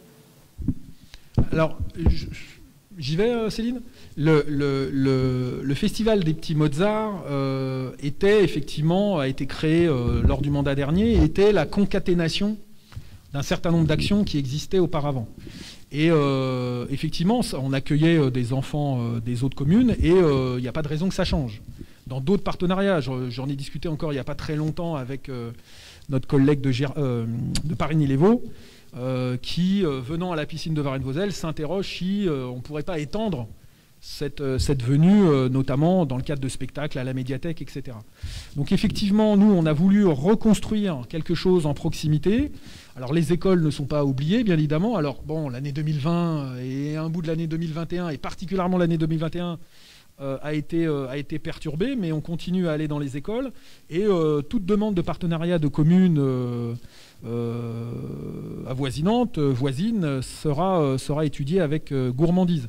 Et d'ailleurs, moi, euh, je sais que Céline Lallet en est euh, préoccupée. Euh, les vendredis de l'été et les autres, les autres événements que nous mettons en place ne sont pas exclusivement réservés aux Voséliens et aux Voséliennes. Et d'ailleurs, euh, nous avons pu voir que ce soit dans les spectacles en intérieur ou même dans les spectacles en extérieur, dans les actions que nous faisons dans les quartiers, que quelquefois nous sommes surpris parce que, euh, alors j'ai pas les chiffres ici, mais euh, sur la roulotte euh, pendant le marché de Noël, on a eu quasiment autant de, de visiteurs, petits, moyens et grands, euh, voséliens que de non-voséliens. Des gens interrogés par cette roulotte, par cette activité. Et donc je pense qu'effectivement, notre, euh, notre politique culturelle, notre programme culturel, notre saison culturelle a vocation d'abord euh, de répondre aux besoins euh, vos- des Voséliens et des Voséliennes, mais euh, il n'y a aucune raison que ça ne soit pas bien en dehors. Et la politique culturelle, alors peut-être que Madame Lallet en dira quelques mots, mais la politique culturelle ou l'ambition culturelle de Nevers Agglomération s'inscrit dans cette démarche-là. Comment faire en sorte, en respectant euh, l'histoire, euh, les saisons, euh, les activités, les événements de chaque commune, bah, comment on peut faire sens. Et d'ailleurs, à ce titre-là, Madame Dezab avait porté, dans le cadre de l'agglomération, un travail autour, vous savez, des animations musicales d'agglomération qui ont lieu pendant l'été. C'est un projet d'agglomération qui a été porté en collaboration avec les, municipalités. Et nous, on s'est associé avec un certain nombre d'autres municipalités pour porter ces choses-là. Donc oui, effectivement, notre ambition, c'est de, rendre le service que nos, habitants méritent. Mais au plus de ça, c'est, euh, si besoin, de rayonner bien au-delà de Varennes-Vauzelles. Et d'ailleurs, euh, le, département est, soucieux de ça hein, aussi. hein. Quand il subventionne des actions, il souhaite aussi que ça déborde largement les frontières communales si c'est une commune qui demande. Quoi. Non, non, il n'y a pas de souci de ce point de vue-là. Tout le monde est bienvenu à Varennes-Vauzelles. D'autres questions, interrogations? Non Eh ben, je vous remercie. Donc, je vais passer au vote. Donc, euh, qui est contre ces demandes de subvention? Qui s'abstient? Je vous remercie. Et ben, comme euh, nous nous y préparions, nous allons passer à la délibération 12 et je laisse la parole à Madame Lallet. Juste euh, petite précision par rapport à la délibération d'avant. Les écoles de Varennes-Vauzelles participent hein, à la saison culturelle puisqu'on leur propose des spectacles. Là, on est un petit peu obligé de jongler depuis la rentrée avec le protocole euh, de non-brassage, de brassage limité. Donc, euh, on essaye de faire participer pour l'instant les écoles de notre ville, qui pour l'instant n'a pas d'annulation, mais c'est vrai qu'on est euh, obligé de jongler avec le protocole éducation nationale et avec le protocole aussi qui a été établi par Madame la directrice académique au sujet des transports d'élèves dans le cadre plutôt là pour le coup de Vigipirate. On l'oublie parfois, mais il n'y a pas que la pandémie Covid-19, il y a aussi Vigipirate qui est plutôt écarlate euh, que rose. Oui, effectivement. euh, euh, comme le dit Madame Lallet, moi j'ai eu à échanger il n'y a pas très longtemps avec la directrice académique, notamment sur la question des transports en tant que vice-président en charge des transports sur l'agglomération. Et effectivement, actuellement, le protocole qui a été renforcé encore, c'est comme vous le savez, fait que les déplacements de nos écoles, mais plus largement de l'ensemble des écoles de l'agglomération, puisque l'agglomération est euh, autorité euh, organisatrice des, mobilités sur son territoire, pose de sérieux problèmes. Et euh, même quand on veut déplacer une petite école qui a deux classes, c'est un vrai casse-tête. Et donc effectivement, comme ça a été dit, sur, et je remercie là aussi le service culture, on a su innover, c'est-à-dire que les spectacles ont été dans les écoles plutôt que les écoles viennent au spectacle, parce que c'était sinon excessivement compliqué à mettre en place. Mais c'est vrai qu'il faut souligner aussi le lien du service culture avec le service éducation, euh, dont Madame Bidot est la responsable. On mm. essaye de travailler en étroite collaboration pour pouvoir euh, maintenir nos spectacles et euh, apporter un petit peu de bonheur à nos élèves en ce temps un petit peu maussade. Et, monsieur le vice-président du département qui est à ma droite me faisait rappeler qu'effectivement l'action que nous avons avec des jazz qui débordent sur le collège, largement sur le collège, bah, touche les gamins de Vosel et les gamines de Vosel qui sont scolarisés, mais aussi les gamins et les gamines de Pougue, puisque vous savez que notre collège accueille principalement les, les enfants de Varennes-Vosel et de Pougue-les-Eaux. Voilà. Madame Lallet, toute seule. Donc, euh, convention avec Réseau au niveau de l'atelier danse. Pour la nouvelle saison 2021-2022 de l'atelier danse, la municipalité renouvelle sa confiance à Madame Oustric, professeure de danse, mise à disposition par l'établissement public de coopération culturelle de la Nièvre, Réseau, pour l'enseignement de la pratique de la danse jazz. Cet établissement a pour mission de permettre la réalisation des projets musicaux et chorégraphiques élaborés au plan local par les communes, les EPCI ou les associations à l'aide de personnel qualifié mis à disposition de ces structures. La contribution de la ville de Varennes-Vauzelles pour cette mise à disposition représente une participation qui s'élève à 2 677 euros pour la période du 1er septembre au 31 décembre 2021 et de 5 433 euros pour la période du 1er janvier au 31 août 2022, soit un total de 8 110 euros pour la collectivité. La participation financière du conseil départemental via Réseau Nièvre est fixée à 43% du coût moyen horaire annuel, soit 6 119 euros pour la saison 2021-2022. Ce dossier a été examiné en commission culture et citoyenneté du 24 novembre 2021. Il est proposé au conseil municipal d'approuver le renouvellement de la convention à intervenir avec l'association Réseau pour l'enseignement de la danse et d'autoriser Monsieur le maire à la signer. La, la convention est jointe au présent ordre du jour en annexe 9. Alors, avant que la question soit posée, je voudrais apporter quelques précisions euh, quant à Réseau. Euh, lors d'un précédent conseil municipal, nous vous avions soumis au vote notre adhésion à l'organisme Réseau. Donc euh, il y avait eu accord euh, du conseil municipal. Sauf qu'à ce jour, nous ne sommes toujours pas adhérents parce qu'il y a une démarche un petit peu compliquée à faire. Et il faut que les conseils municipaux euh, des villes qui sont déjà adhérentes à réseau votent lors d'un conseil municipal notre entrée. Et force est de constater que pour l'instant, ça n'a pas été fait dans toutes les communes. Hein. Donc pour l'instant, nous ne sommes toujours pas adhérents euh, définitifs à réseau. En plus, euh, la direction a changé. La directrice de réseau est partie, euh, enfin, ou va partir dans un. Voilà. Donc, c'est compliqué d'avoir un interlocuteur. Donc, dès qu'on aura de, de, nouvelles informations sur ce sujet, je ne manquerai pas de vous en faire part, déjà à la commission, et puis après, qui distribuera l'information euh, aux autres membres du conseil municipal.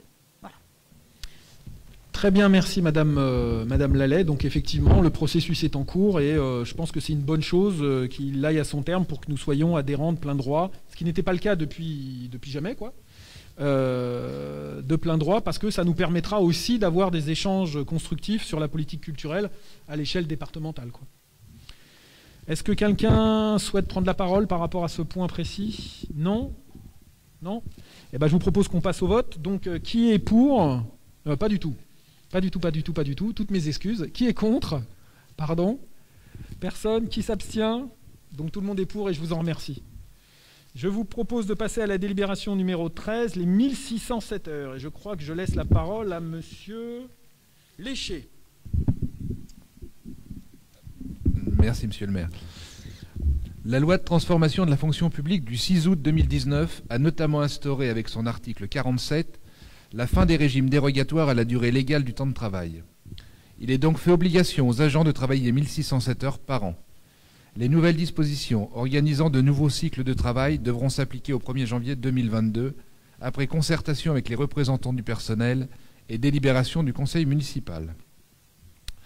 Pour rappel, les dispositions municipales réduisant le temps de travail ont été instaurées à Varennes-Vauzelles en accord avec les agents et visait à améliorer de façon substantielle le confort et le bien-être au travail afin de favoriser le meilleur service aux habitants. Les dispositions concernées visant à réduire le temps de travail sont la journée du maire, la demi-journée pour convenance personnelle, la demi-journée de rentrée scolaire, l'octroi d'office de deux jours de fractionnement, et en principe ils sont attribués lorsque l'agent utilise ses congés annuels en dehors de la période du 1er mai au 31 octobre, le jour ouvrable placé entre un dimanche et un jour férié, c'est-à-dire le lundi, et le dimanche lorsque celui-ci est férié. Selon une moyenne qui s'élabore sur les 11 prochaines années, les agents devraient travailler trois jours de plus par an. Alors je précise pourquoi sur 11 ans, c'est simplement parce que toutes les années, ne un jour férié ne tombe pas un mardi. Donc c'est si on fait sur les 11 ans, on arrivera à ces trois, trois jours de plus par an. Par cette loi, l'État s'immisce dans la gestion du personnel des collectivités territoriales sans pour autant se préoccuper des moyens dont elles ont besoin pour rendre le meilleur service à la population. Notre municipalité réaffirme le rôle de la fonction publique territoriale comme un échelon essentiel pour l'élaboration et la mise en œuvre des politiques publiques. Notre municipalité réaffirme également le rôle indispensable de ses agents pour assurer la continuité des services publics. Nous avons pu le constater durant cette crise sanitaire, où l'État n'aurait pas pu faire, seul, face seul pour mener à bien ses campagnes de vaccination, assurer la scolarité des enfants ou, lutter contre les phénomènes d'isolement. Donc ce dossier a été examiné en commission du personnel le 29 novembre dernier. C'est pourquoi il est proposé au conseil municipal, tout d'abord, de prendre le temps du dialogue social au-delà du 1er janvier 2022, d'engager la consultation des agents sur ces nouvelles modalités législatives, de mettre en place des groupes de travail permettant de couvrir l'ensemble des métiers et de proposer un accord global conforme aux attentes des représentants du personnel lors du débat budgétaire. Et je voudrais rajouter, nous avons été interrogés par Madame Courreau, qui est ministre des territoires et par le préfet, notamment sur la mise en place de ces 1607 heures. Donc nous avons fait un courrier au préfet lui indiquant que nous allons prendre le temps, ce que je viens de vous lire dans la délibération. Donc la préfecture a été avertie de, de la délibération que nous prenons ce soir. Avant de vous laisser la parole, si vous le souhaitez, chers collègues, moi je voudrais euh, revenir sur deux points. Le premier, c'est, euh, je crois que le terme a été utilisé, s'immiscer je, suis particulièrement euh, circonspect sur la volonté de l'État de s'immiscer dans le fonctionnement des collectivités territoriales.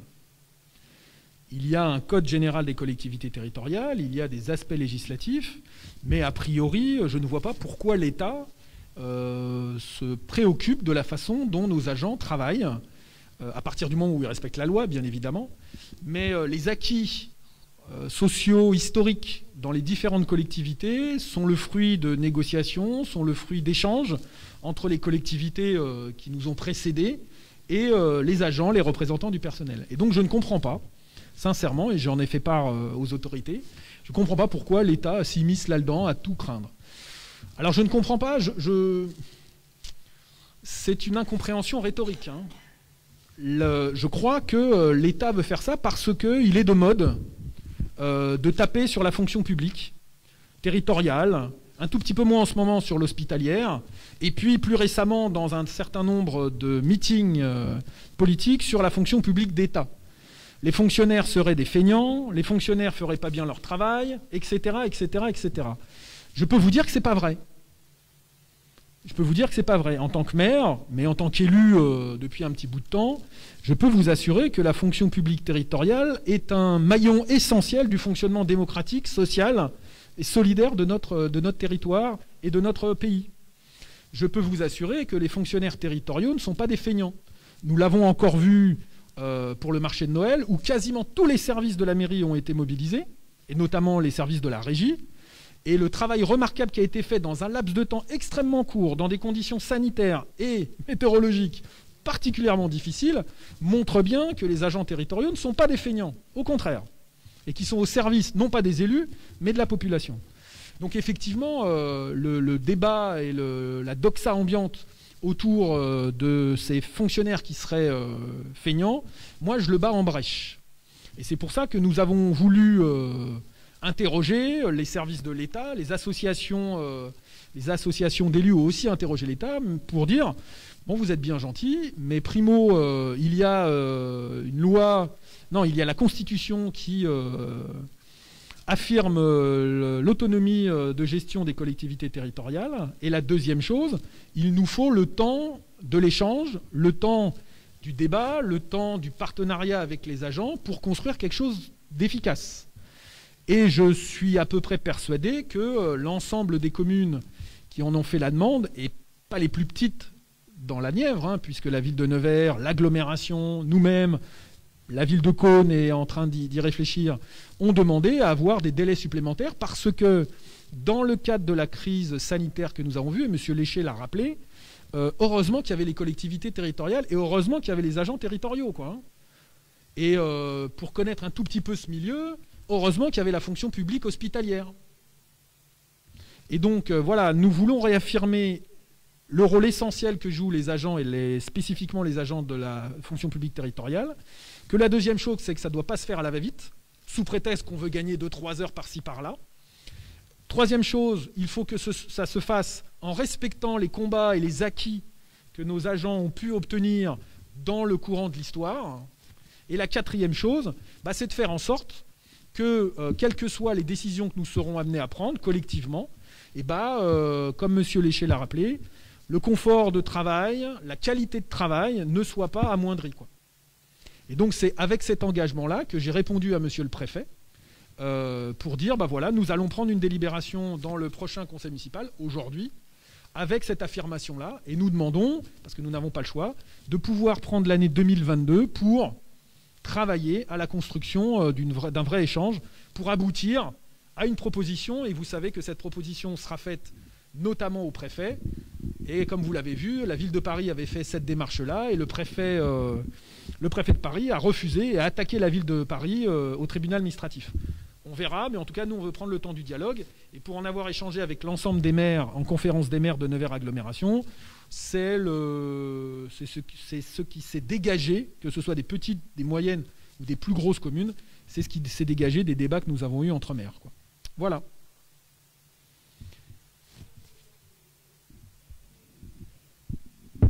Oui, alors comme le dit Madame Graillot, euh, alors peut-être que tout le monde ne l'a pas entendu, en plus de ça, euh, c'est nous qui payons nos agents. Hein. Ce n'est pas l'État. Hein. Donc les décisions des fois que l'État est amené à prendre pour revaloriser, et tant mieux, tant mieux, les carrières de nos fonctionnaires territoriaux ne sont pas suivies d'effets euh, dans les dotations que nous touchons. Hein. Voilà, le Ségur en est un exemple. Monsieur Martin pourrait en parler parce qu'il s'est arraché, enfin il, s'est arraché les cheveux qu'il n'avait pas, mais euh, sur cette question-là, durant toute, l'année 2021. Quoi, hein. Donc voilà. C'est ce que j'ai dit au préfet, en tout cas. Y a-t-il des questions sur ce dispositif et sur, cette, euh, sur processus que nous allons construire dans le courant de l'année 2022 Madame Bonicelle.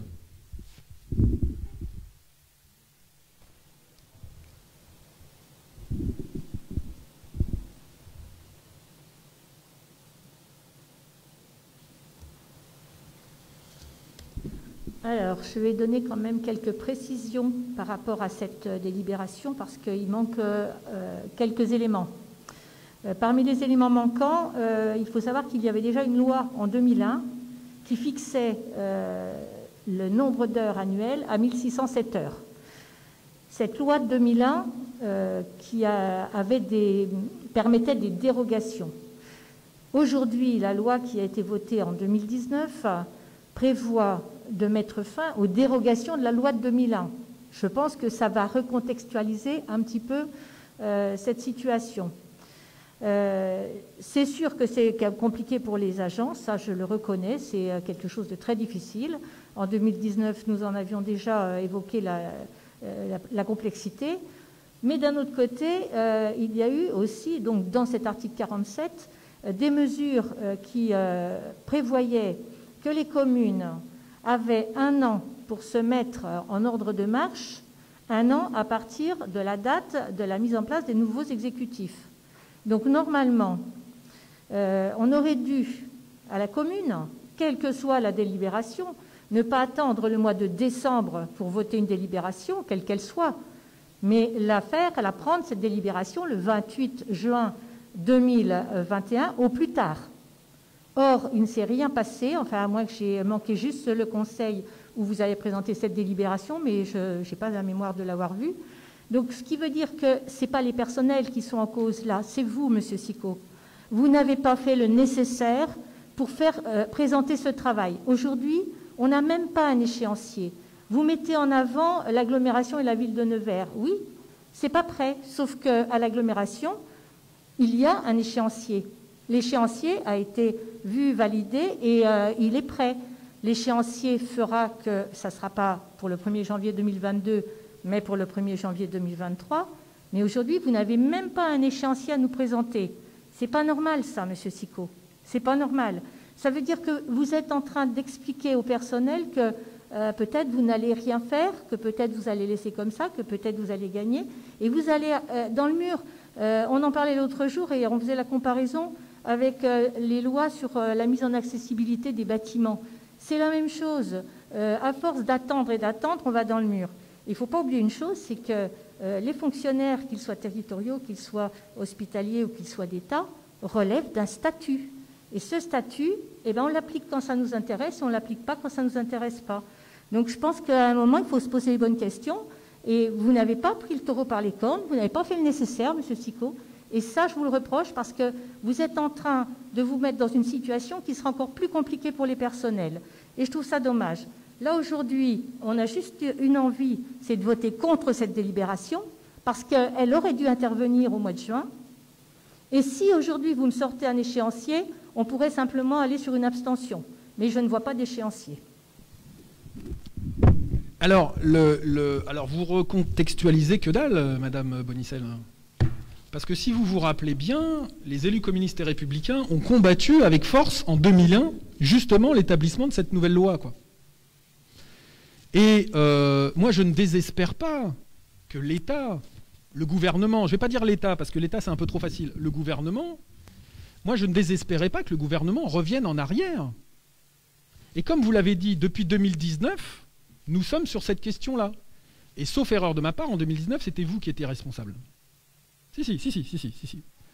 Non, non, non, non, non, non. En 2019, vous étiez au courant qu'il fallait passer à ça et vous n'avez rien fait. T'as raison. Hmm. Donc vous n'avez rien fait. Et je vous donnerai éventuellement la parole après pour me répondre. D'accord?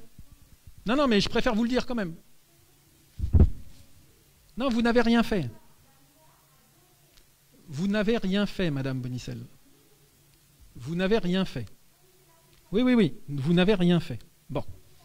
Donc, depuis le mois de juin dernier, effectivement, nous nous sommes interrogés sur la lucidité que pourrait avoir l'exécutif national, le gouvernement, pour revenir en arrière par rapport à ça. Et force de constater que malgré les avertissements de l'Association des maires de France, de l'Association euh, des communautés de France et de l'ensemble des associations de, euh, représentatives des élus, rien n'a été changé.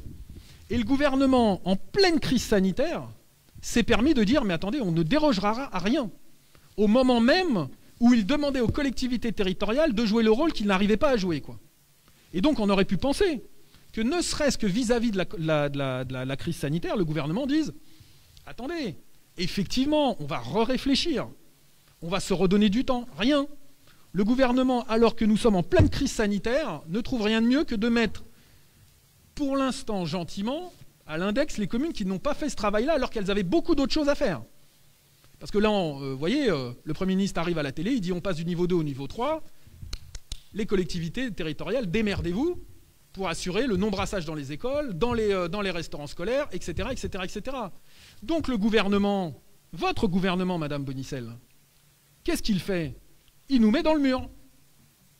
Et donc, la proposition que moi j'ai faite à Monsieur le Préfet, dans ce cadre-là, parce qu'encore la pandémie n'est pas finie, hein, vous voyez, là on est passé du niveau 2 au niveau 3, je ne sais pas ce que ça va être dans une semaine. Hein.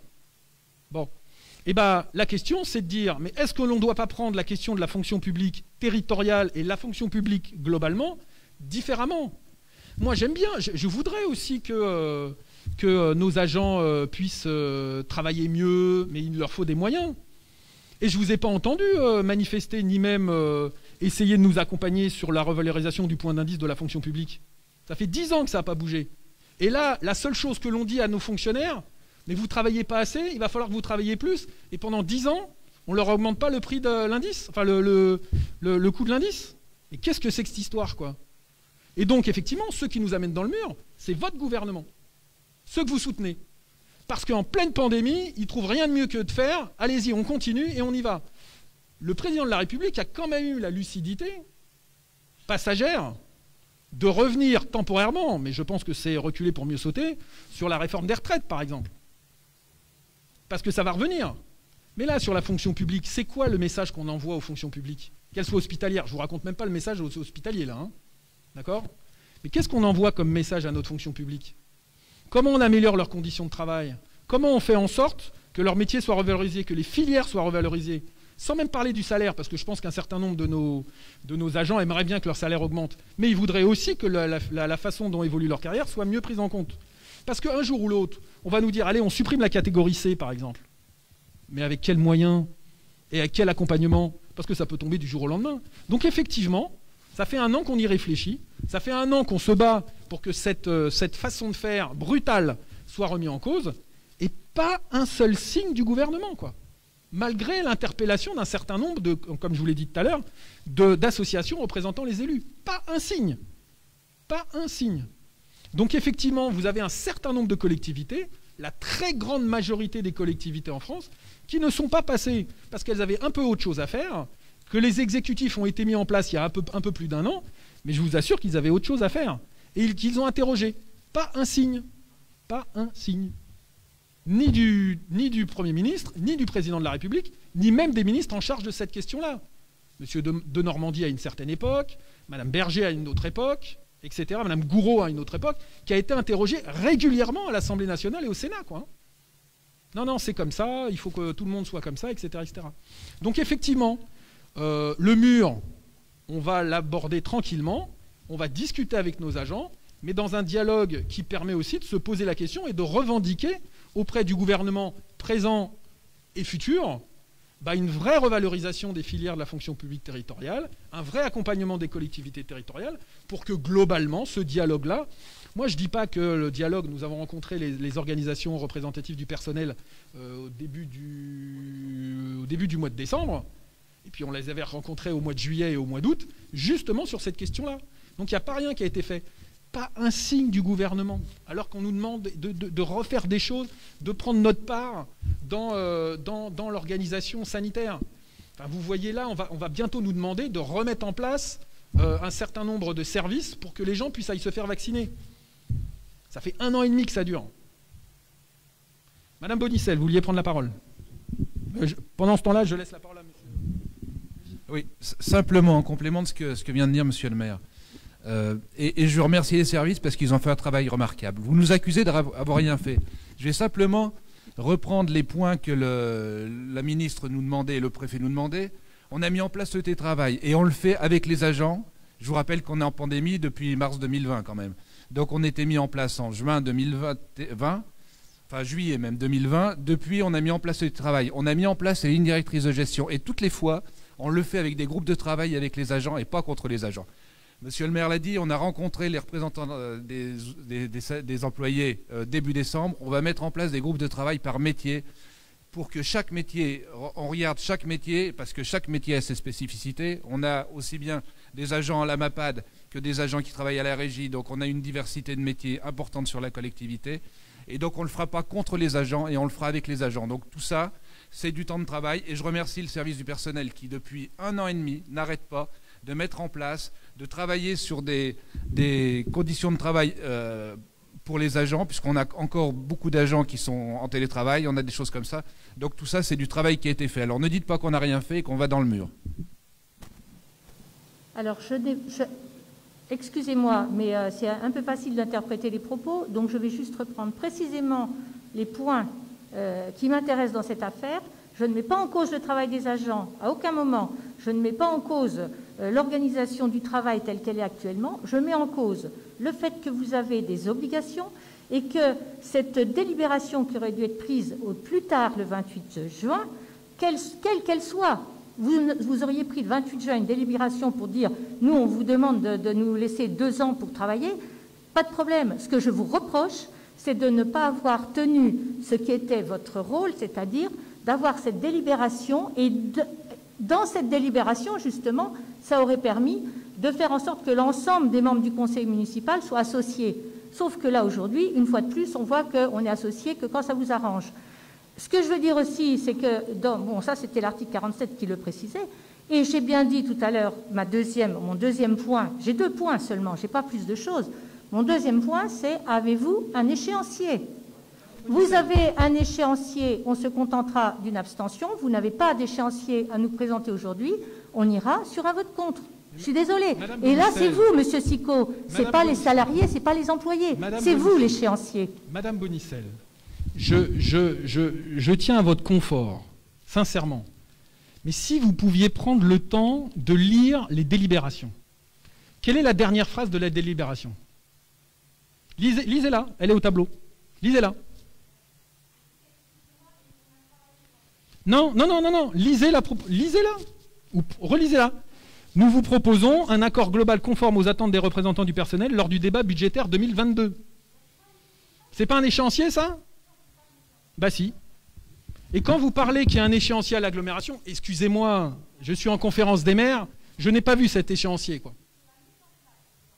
Non, non, non, non, non, non, non, non. Vous essayez d'en sortir par une pirouette. Nous vous disons dans la délibération que vous n'avez pas lu que nous vous proposerons, nous proposerons un accord global pour le débat budgétaire 2022.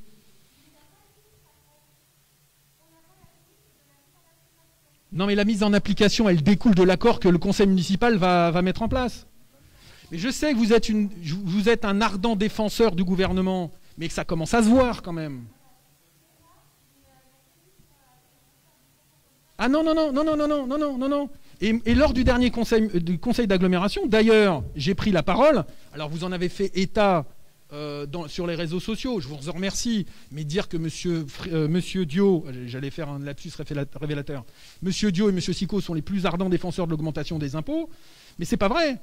C'est du fait de votre responsabilité en tant que, première vice-présidente de l'agglomération pendant six ans qui nous met dans le trou budgétaire à l'agglomération. Qui nous met dans le trou.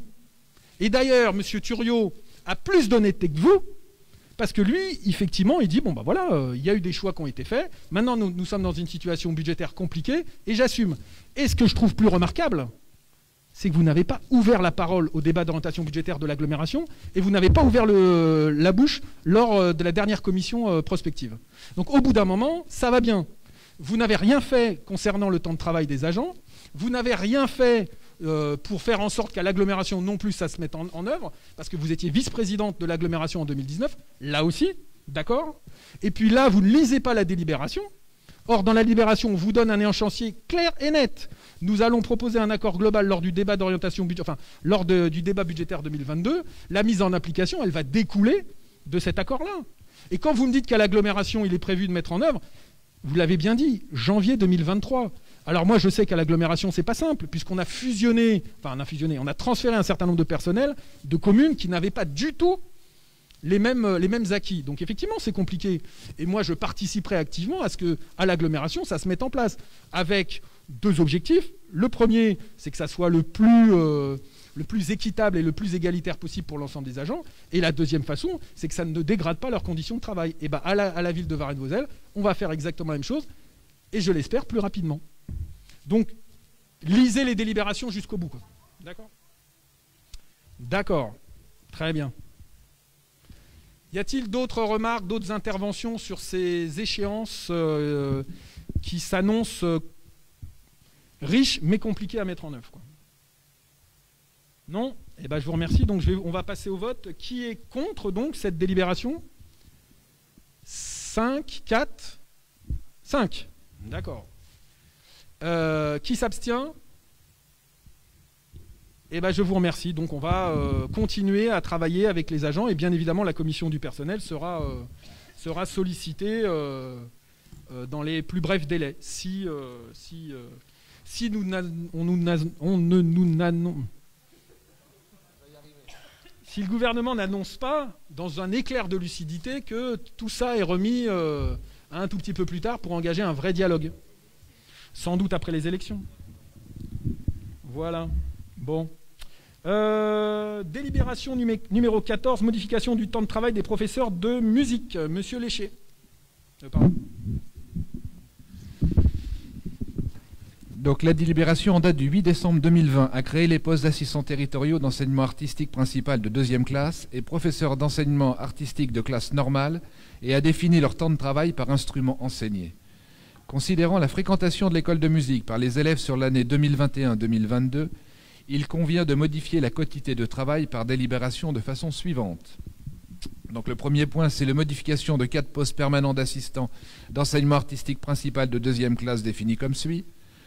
Donc un poste d'enseignant d'accordéon sur le grade d'assistant d'enseignant artistique principal de deuxième classe à temps non complet à raison de 3,75 vingtièmes. Un poste d'enseignant de chant sur le grade d'assistant d'enseignement artistique principal de deuxième classe à temps non complet à raison de 13,25 vingtièmes un poste d'enseignant de guitare sur le grade d'assistant d'enseignement artistique principal de deuxième classe à temps non complet à raison de 15 vingtièmes, un poste d'enseignant de batterie sur le grade d'assistant d'enseignant artistique principal de deuxième classe à temps non complet à raison de 8,25 vingtièmes, et ensuite au point 2, la suppression d'un poste permanent d'assistant d'enseignement artistique principal de deuxième classe défini comme suit. Donc un poste d'enseignant de flûte traversière sur le grade d'assistant d'enseignement artistique principal de deuxième classe à temps non complet à raison de 2 vingtièmes. Et donc les postes d'enseignant de batterie, de guitare et formation musicale sur le grade d'assistant d'enseignement artistique principal de deuxième classe restent inchangés. Et enfin, en point 3, la modification de deux postes permanents de professeur d'enseignement artistique de classe normale définis comme suit. Donc un poste d'enseignant de guitare basse sur le grade de professeur d'enseignement artistique de classe normale à temps non complet à raison de 11 16 un poste d'enseignant de violon sur le grade de professeur d'enseignement artistique de classe normale à temps non complet à raison de 10 25 16 et donc les, les postes d'enseignant de piano, de saxophone, formation musicale et éveil musical sur le grade de professeur d'enseignement artistique de classe normale restent inchangés. Donc tous les autres termes de la délibération en date du 8 décembre 2020 restent inchangés. Les crédits nécessaires seront inscrits au chapitre 020 du budget et ce dossier était présenté au comité technique en date du 23 novembre 2021 et en commission du personnel le 29 novembre 2021. Par conséquent, il vous est donc proposé d'approuver les modifications apportées au nombre d'heures des professeurs de musique, d'approuver la modification du tableau des effectifs en conséquence et d'habiliter Monsieur le maire à signer toutes les pièces se rapportant à son dossier. Donc simplement, on remet, euh, après les inscriptions du mois de septembre des écoles de musique, on met en concordance le temps de travail des professeurs de l'école de musique avec leur euh, contrat de travail, tout simplement.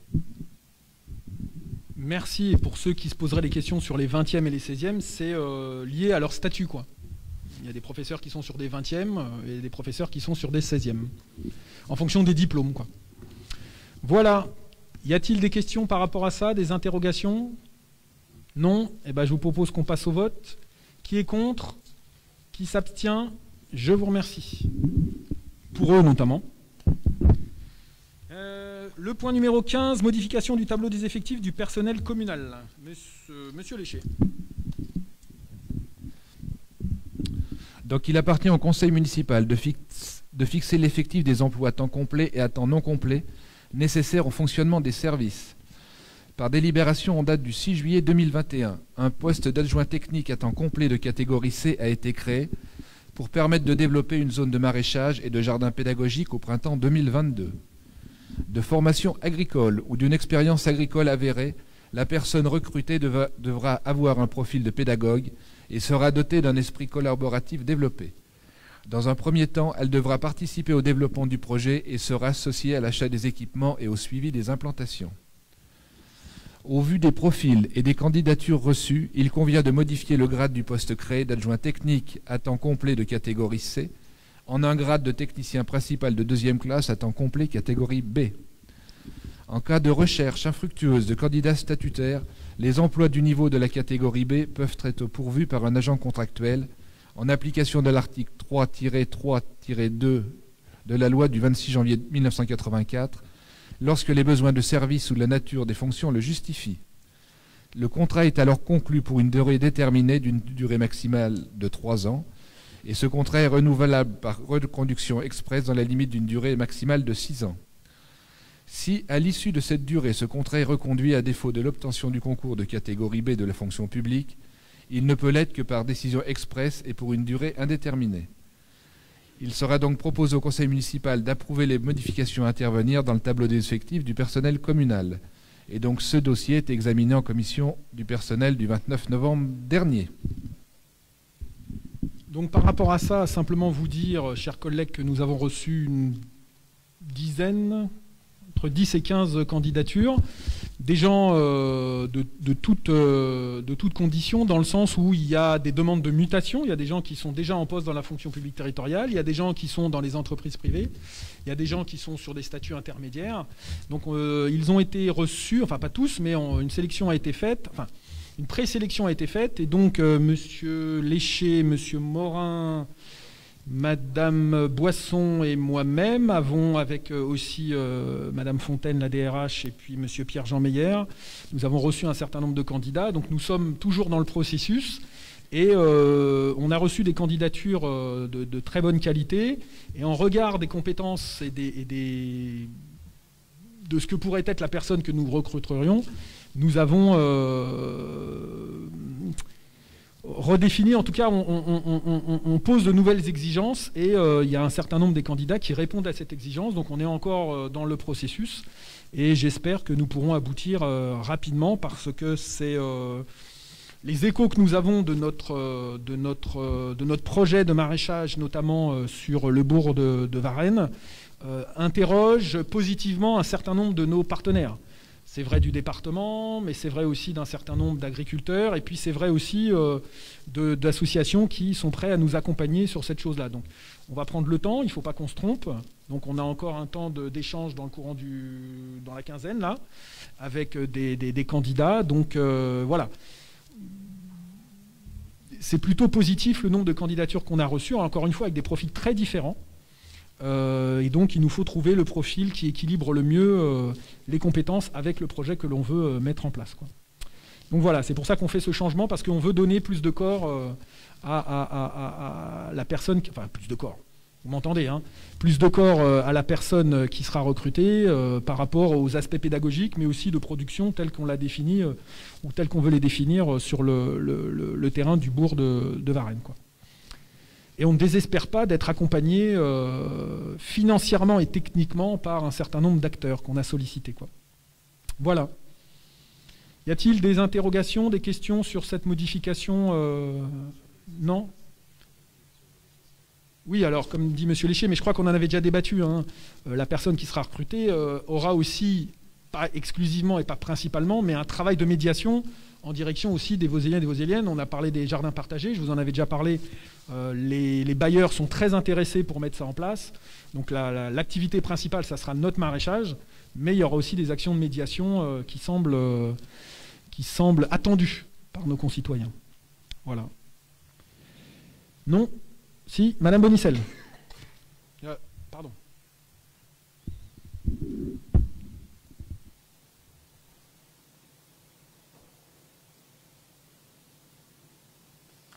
Alors, euh, on est un peu désolé de voir que finalement, euh, en fonction de la personne, on adapte. Vous auriez eu un catégorie A, on serait passé en catégorie A.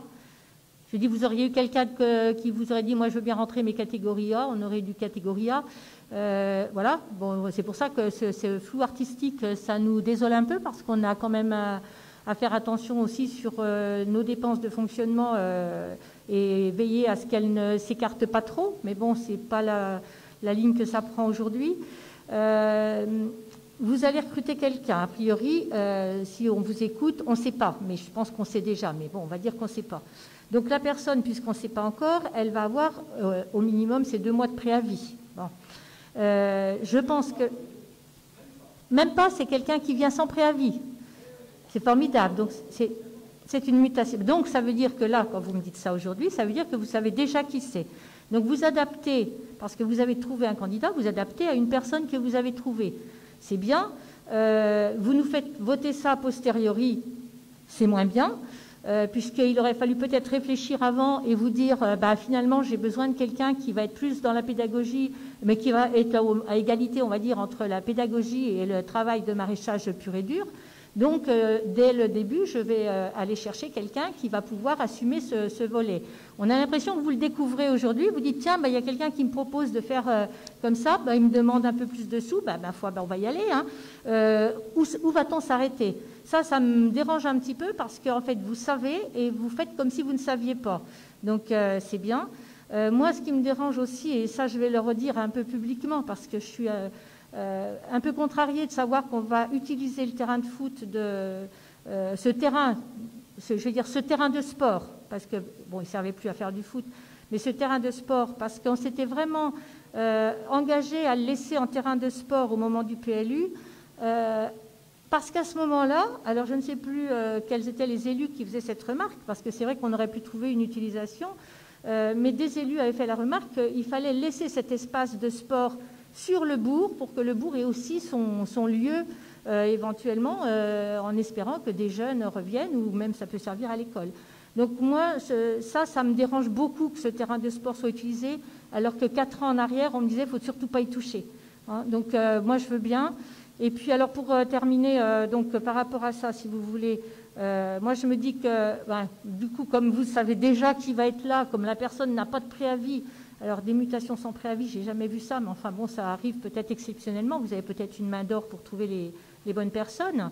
Euh, mais quand euh, une personne arrive sur un, chantier comme un, maraîchage, sur un terrain, un terrain euh, vierge qui n'a pas été cultivé depuis des dizaines d'années, il y a toute une mise en place qui doit être faite. Et on ne décrète pas au mois de décembre qu'on va faire du maraîchage trois mois après et que les légumes vont pousser trois mois après. Donc je pense que là, vous avez prévu un an de semi-battement parce qu'on ne pourra pas être efficace sur la première année, ce n'est pas possible. Et puis, il va falloir, la terre, elle va avoir besoin de, beaucoup de, travail et d'amour pour arriver à produire quelque chose. Hein. Euh, un terrain qui a été en herbe depuis si longtemps, à mon avis, ça va être compliqué. Donc là, aujourd'hui, euh, moi, je suis désolée, mais devant euh, ce manque de clarté ce manque de clarté par rapport à ce changement de grade, ce changement d'orientation euh, par rapport à la personne embauchée, nous, on s'abstiendra sur ce dossier parce qu'on n'a pas assez d'éléments et on jugera après, euh, on sera très vigilant sur les prochains comptes administratifs, sur les montants, euh, les montants des salaires. Catherine Robin-Chauveau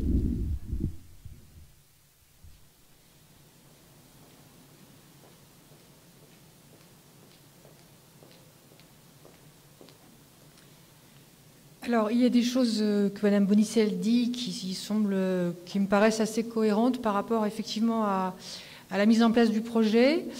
Euh, moi, je serais plus nuancée en disant voilà, il faut de toute façon expérimenter. Euh, c'est une, innovation. il faut de toute façon une certaine technicité, puisqu'on demande beaucoup de choses à cette personne. Hein. Elle ne peut pas être qu'exécutante, il faut aussi qu'elle soit autonome dans son travail et qu'elle puisse transmettre. Donc c'est pas simple de trouver effectivement la, bonne personne, ce que je comprends, je comprends votre difficulté. Euh, il faudra sans doute euh, aller par petits pas, c'est-à-dire euh, peut-être pas être trop ambitieux les premières années, puisque de toute façon, vous n'aurez pas production, comme le disait Madame Bonicel, tout de suite, c'est sûr. Mais par contre, le projet mérite d'être créé. Et je pense qu'il faut, le, il faut le, le, lancer, en faire un bilan, peut-être vérifier, être prudent sur la partie économique. Euh, mais je pense que c'est, intéressant. Et puis, euh, on peut en plus l'associer à, la mise en place d'un groupe euh, de citoyens engagés sur les jardins partagés. Donc voilà. moi, je trouve que c'est plutôt intéressant, voilà. Et puis, je mets simplement quelques nuances à la partie financière, comme d'habitude. Mais par rapport au reste, je, trouve que notre groupe euh, trouve les éléments à suivre. Quoi. Voilà. Merci. Euh, oui, deux, trois éléments. Le, premier, c'est qu'effectivement, euh, entre le moment où on décide d'un projet qui se construit, tous les échanges qu'il y a pu avoir, il n'est pas inconcevable parce que nous n'avons pas la science infuse, contrairement à certains ou certaines, que les choses évoluent. Et euh, le travail que nous avons euh, avec euh, nos partenaires, le travail, les échanges que nous avons pu aussi avoir avec un certain nombre de candidats qui ont une expérience, et nombre des candidats avaient une expérience très riche de ce point de vue-là, nous font aussi avancer. Donc vous voyez, quand moi, j'ai aucune honte et aucune pudeur à dire que bah, c'est aussi en échangeant qu'on arrive à avancer de façon plus efficace sur la définition, comme Madame Robin Chauveau l'a dit, d'un projet et de la construction de ce projet sur le long terme. Alors effectivement, si, vous ne voyez que la création, enfin la création, la génération de 300 kg ou 5, 500 kg ou une tonne de patates d'ici le mois de mars, non, c'est pas ça notre projet. Hein. C'est pas ça.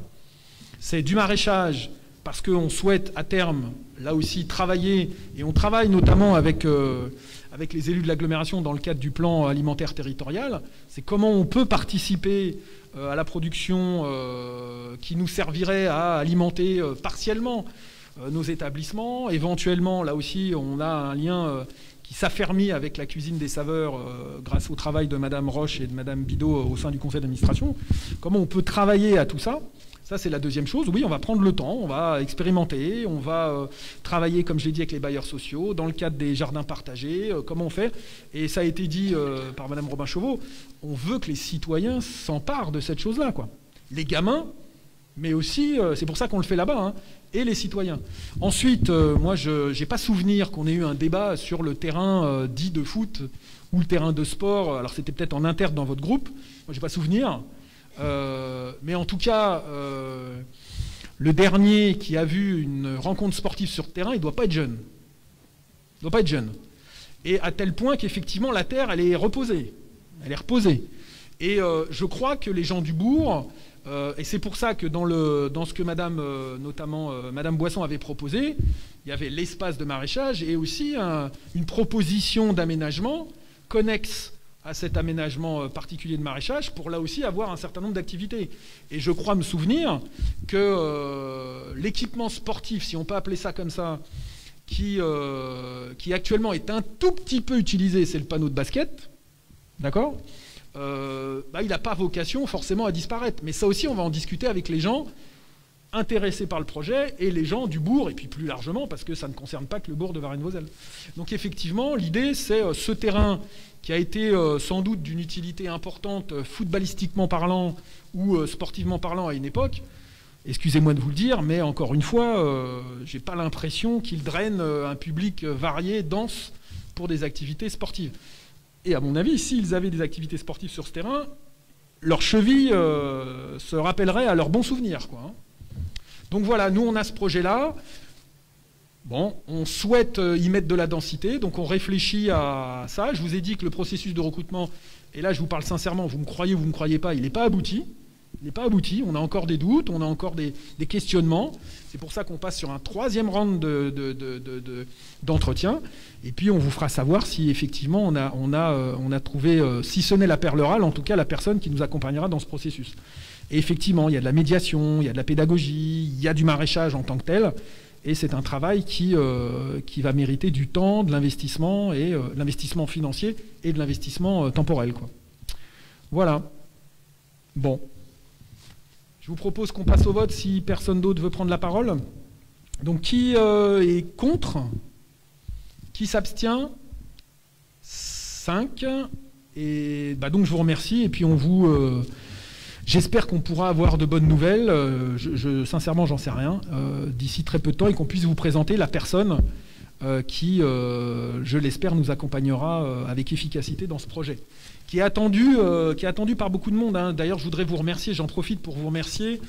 remercie ceux qui l'ont mis en place et ceux qui ont participé. Je sais qu'un certain nombre d'entre vous ont participé à la journée, à la journée, à la soirée du 10 novembre dernier, des ateliers, voilà, la démarche participative, malgré le Covid, se met en place. Il y a eu des ateliers très denses qui ont eu lieu euh, le 24 novembre, je crois.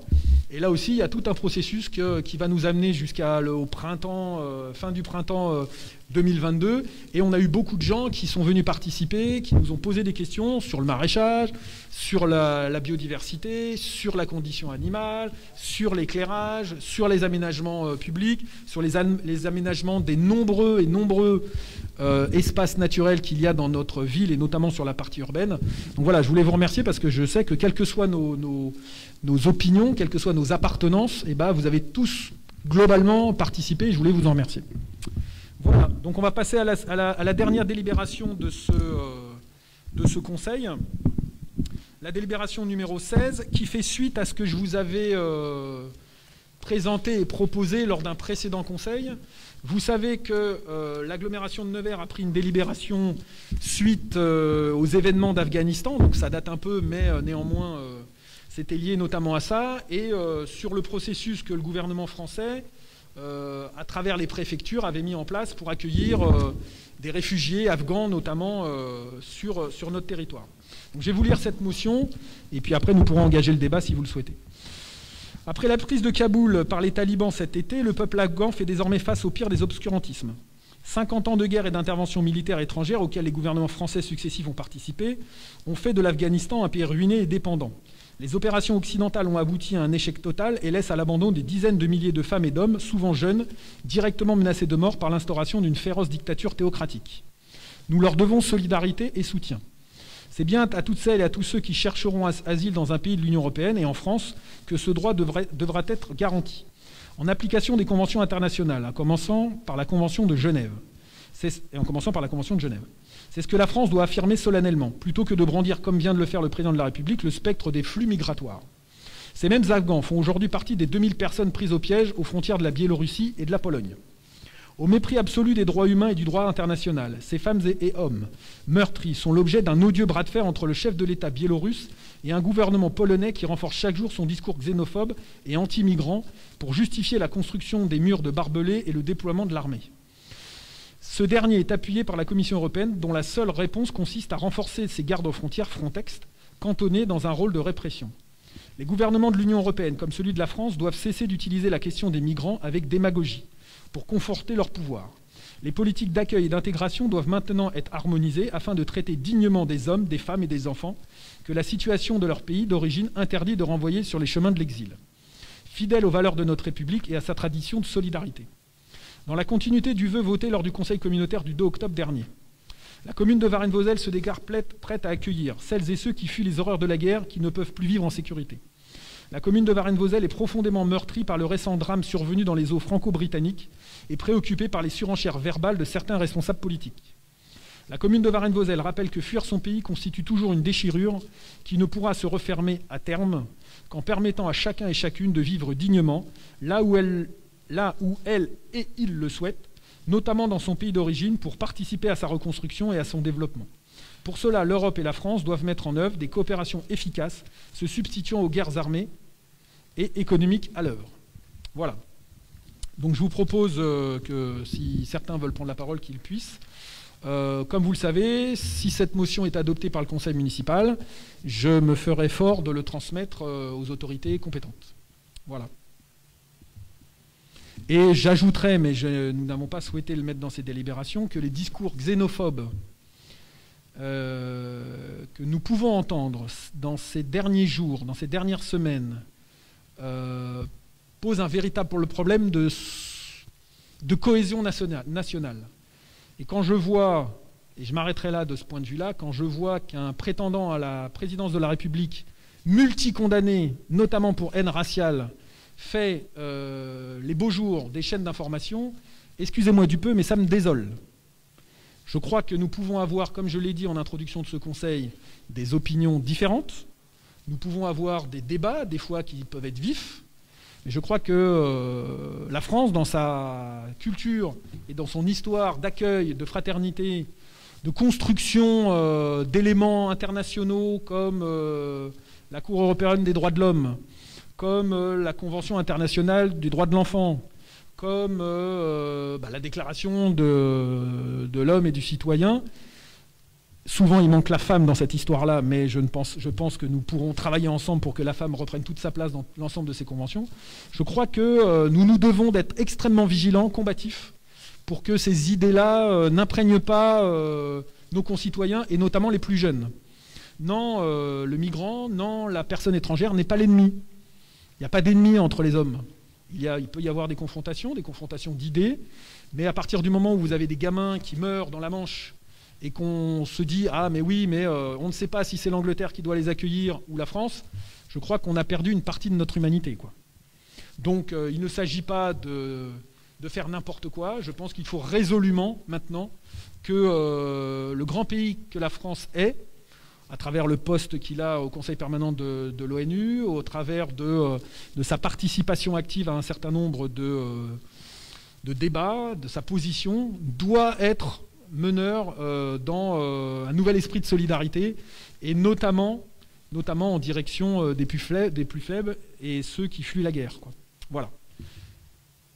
Je m'arrêterai là.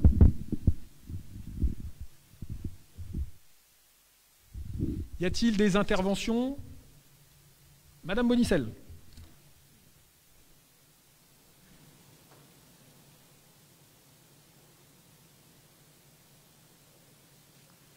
Alors c'est une motion que nous allons voter, même. Ah ben que nous allons voter, même si je trouve absolument déplorable le, le volet politique que vous mettez dans cette motion. Il s'agit d'hommes et de femmes euh, pour lesquels on a besoin de se mobiliser. C'est une question d'humanité. Euh, que l'on soit euh, catholique, protestant, athée ou ce qu'on veut, on est là pour aider nos, semblables dans le monde entier. Pourquoi rajouter de la haine politique telle que vous le faites à chaque fois J'avais dit en début de mandat que ces, ces motions politiques, c'était insupportable. Celle-ci est insupportable comme les autres. À l'agglomération, nous avons voté une motion qui était vraiment de la solidarité et de l'humanité. Ici, on a de l'appel au, euh, meurtre limite, hein, parce que vous mettez en cause les uns et les autres sans arrêt. Mais vous ne pouvez pas être un peu plus simple dans votre façon de vous exprimer et revenir à quelque chose qui va faire le rassemblement de tout le monde. Alors, vous avez euh, évoqué la personne dont il ne faut pas parler, mais vous, l'évoquez, vous êtes le premier à le faire. Donc qu'on n'en parle pas du tout. Pourquoi vous l'évoquez? Vous êtes le premier à, en parler. N'en parlons pas. Laissons-le là où il est. Et puis, au-delà de ça, vous voyez, euh, moi j'avais participé euh, à, un même élan de solidarité à l'époque où c'était les Syriens qui étaient en difficulté, et c'était M. Cazeneuve qui nous avait rassemblé un certain nombre de maires. La ville de Varennes-Vauzelles s'était portée solidaire, mais elle s'était portée solidaire dans la simplicité et la discrétion. Il n'y avait pas eu, ça s'était pas fait de façon ostentatoire comme on, le fait là. On doit apporter notre soutien, euh, s'il y a des gens hébergés, eh bien qu'on puisse les héberger, tant mieux, surtout qu'on est un territoire où il y a beaucoup de logements vacants, donc euh, tant mieux. Mais par pitié, par pitié, Monsieur Sicot, faites-le de façon rassembleuse au lieu de le faire de façon agressive comme vous le faites aujourd'hui. On va voter cette motion, mais pas en pensant à vous, en pensant aux personnes qui sont concernées et uniquement à elles. je vais laisser la parole à Monsieur Guillon qui veut la prendre sans doute. Hein. Il me la redonnera, mais.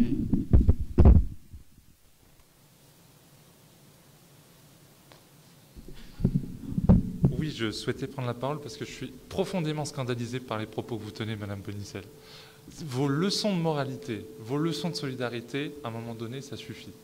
Cette motion, elle est là en solidarité à des hommes et à des femmes qui souffrent, qui sont morts aux frontières de la Biélorussie et de la Pologne vous abaissez le niveau en accusant, en nous accusant dans notre motion de faire de la politique, alors que justement, c'est en ne faisant rien et en n'agissant pas sur ce combat politique qu'on perd tout et qu'on laisse faire ce qui s'est passé. C'est à l'image de l'Union européenne qui a laissé faire ce qui se passe actuellement entre la Pologne et la Biélorussie. Parce que l'Union européenne ne prend pas ses convictions et ne fait pas de la politique. Elle fait de la géopolitique en allant dans l'intérêt de la Pologne. Voilà. pour les gens. On fait de la politique pour les gens.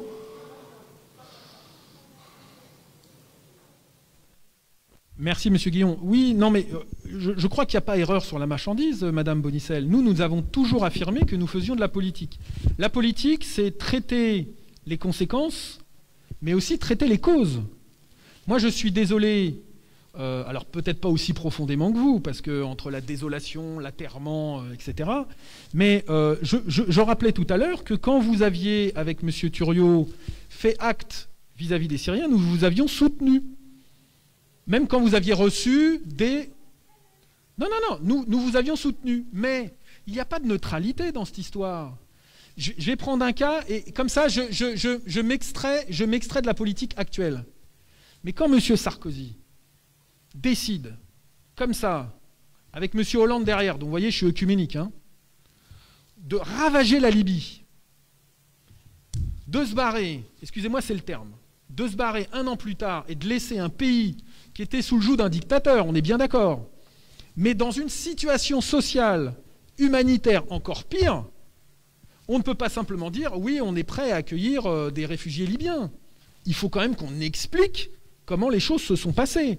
Quelles sont les causes qui conduisent à ces conséquences désastreuses Là, comme le dit M. Guillon, on a des gens qui tous les jours traversent la Manche, ou essayent de traverser la Manche dans des conditions euh, terribles, et la seule réponse qu'on a, c'est on va peut-être, peut-être, réviser les accords du Touquet, quoi, pour savoir où est la frontière.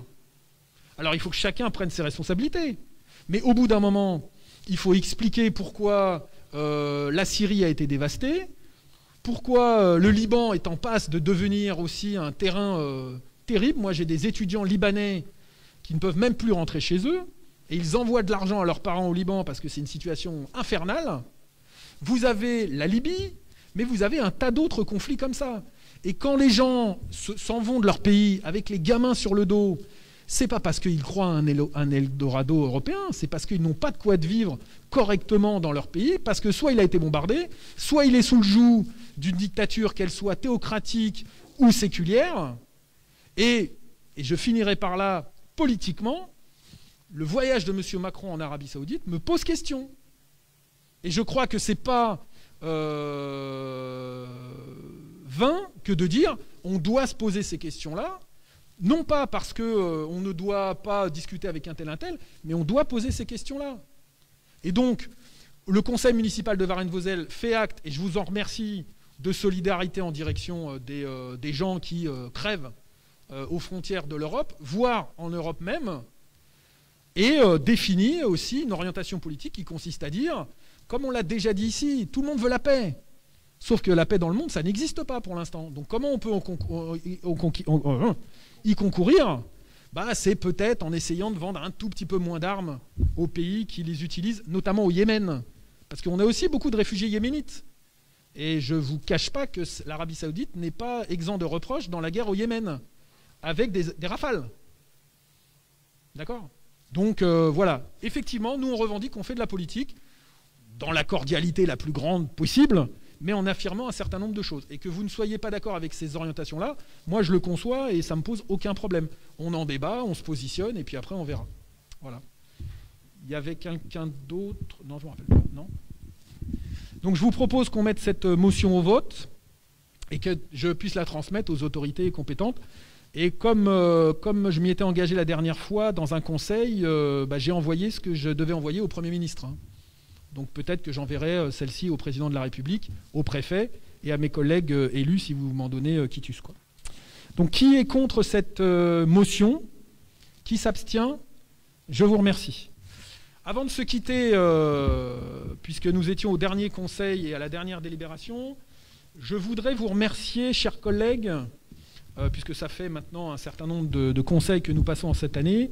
Malgré nos oppositions, je voudrais vous remercier pour la qualité des débats, pour vos interventions, quelles qu'elles soient, parce que je pense que c'est ça le débat démocratique. Et comme je l'ai dit au début du Conseil, le débat démocratique, pensé, euh, assumé, ce n'est pas euh, des vindictes sur les réseaux sociaux. Nous avons des débats qui nous animent, nos concitoyens peuvent les voir, ils peuvent, ils peuvent prendre parti, ils peuvent être d'accord avec le maire, ils peuvent ne pas être d'accord avec le maire, ils peuvent être d'accord avec un tel ou un tel, ça ne me pose pas problème. Mais en tout cas, voilà, je voulais vous remercier pour, euh, pour cette année de conseils municipaux. Je vous invite euh, pour euh, une prochaine session de conseils municipaux dans l'année 2022. Avant ça, je voudrais vous inviter, si les conditions sanitaires ne, ne changent pas d'ici là, à la corrida de Voselles. Et là aussi, je félicite euh, l'association. Véronique qui porte cette corrida. Je ne sais pas dans quelles conditions elle va devoir se mettre en place. L'année dernière, nous avions envisagé la corrida du centenaire Malheureusement, les conditions n'ont pas pu le faire dans la manière euh, la, plus, idéale et n'a pas pu se, mettre en place. Donc je vous invite à la corrida. Les membres du CCAS sont bien sûr, euh, sauf changement, sont invités à participer aux différents événements euh, portés par le CCAS. Encore une fois, j'essaierai avec M. Martin de vous prévenir si d'aventure les directives préfectorales changent d'ici là. Nous ne savons pas. Vous voyez qu'il y a un certain nombre d'événements qui malheureusement ont dû être annulés, notamment les événements en intérieur les marchés de Noël en intérieur, etc. Donc je ne sais pas de quoi il en sera. Ce que je vous souhaite, c'est le meilleur pour cette fin d'année. Nous aurons, je l'espère, une cérémonie des vœux le 12 janvier, s'il n'y a pas de changement d'ici là, encore une fois, selon les conditions qui nous seront imposées. Je vous appelle toutes et tous, comme je l'ai déjà fait, euh, chers collègues, et puis les gens qui nous regardent, à vous faire vacciner ou vous faire revacciner sur cette troisième dose. Euh, sur le territoire de Nevers Agglomération, je pense que ça va euh, s'accélérer.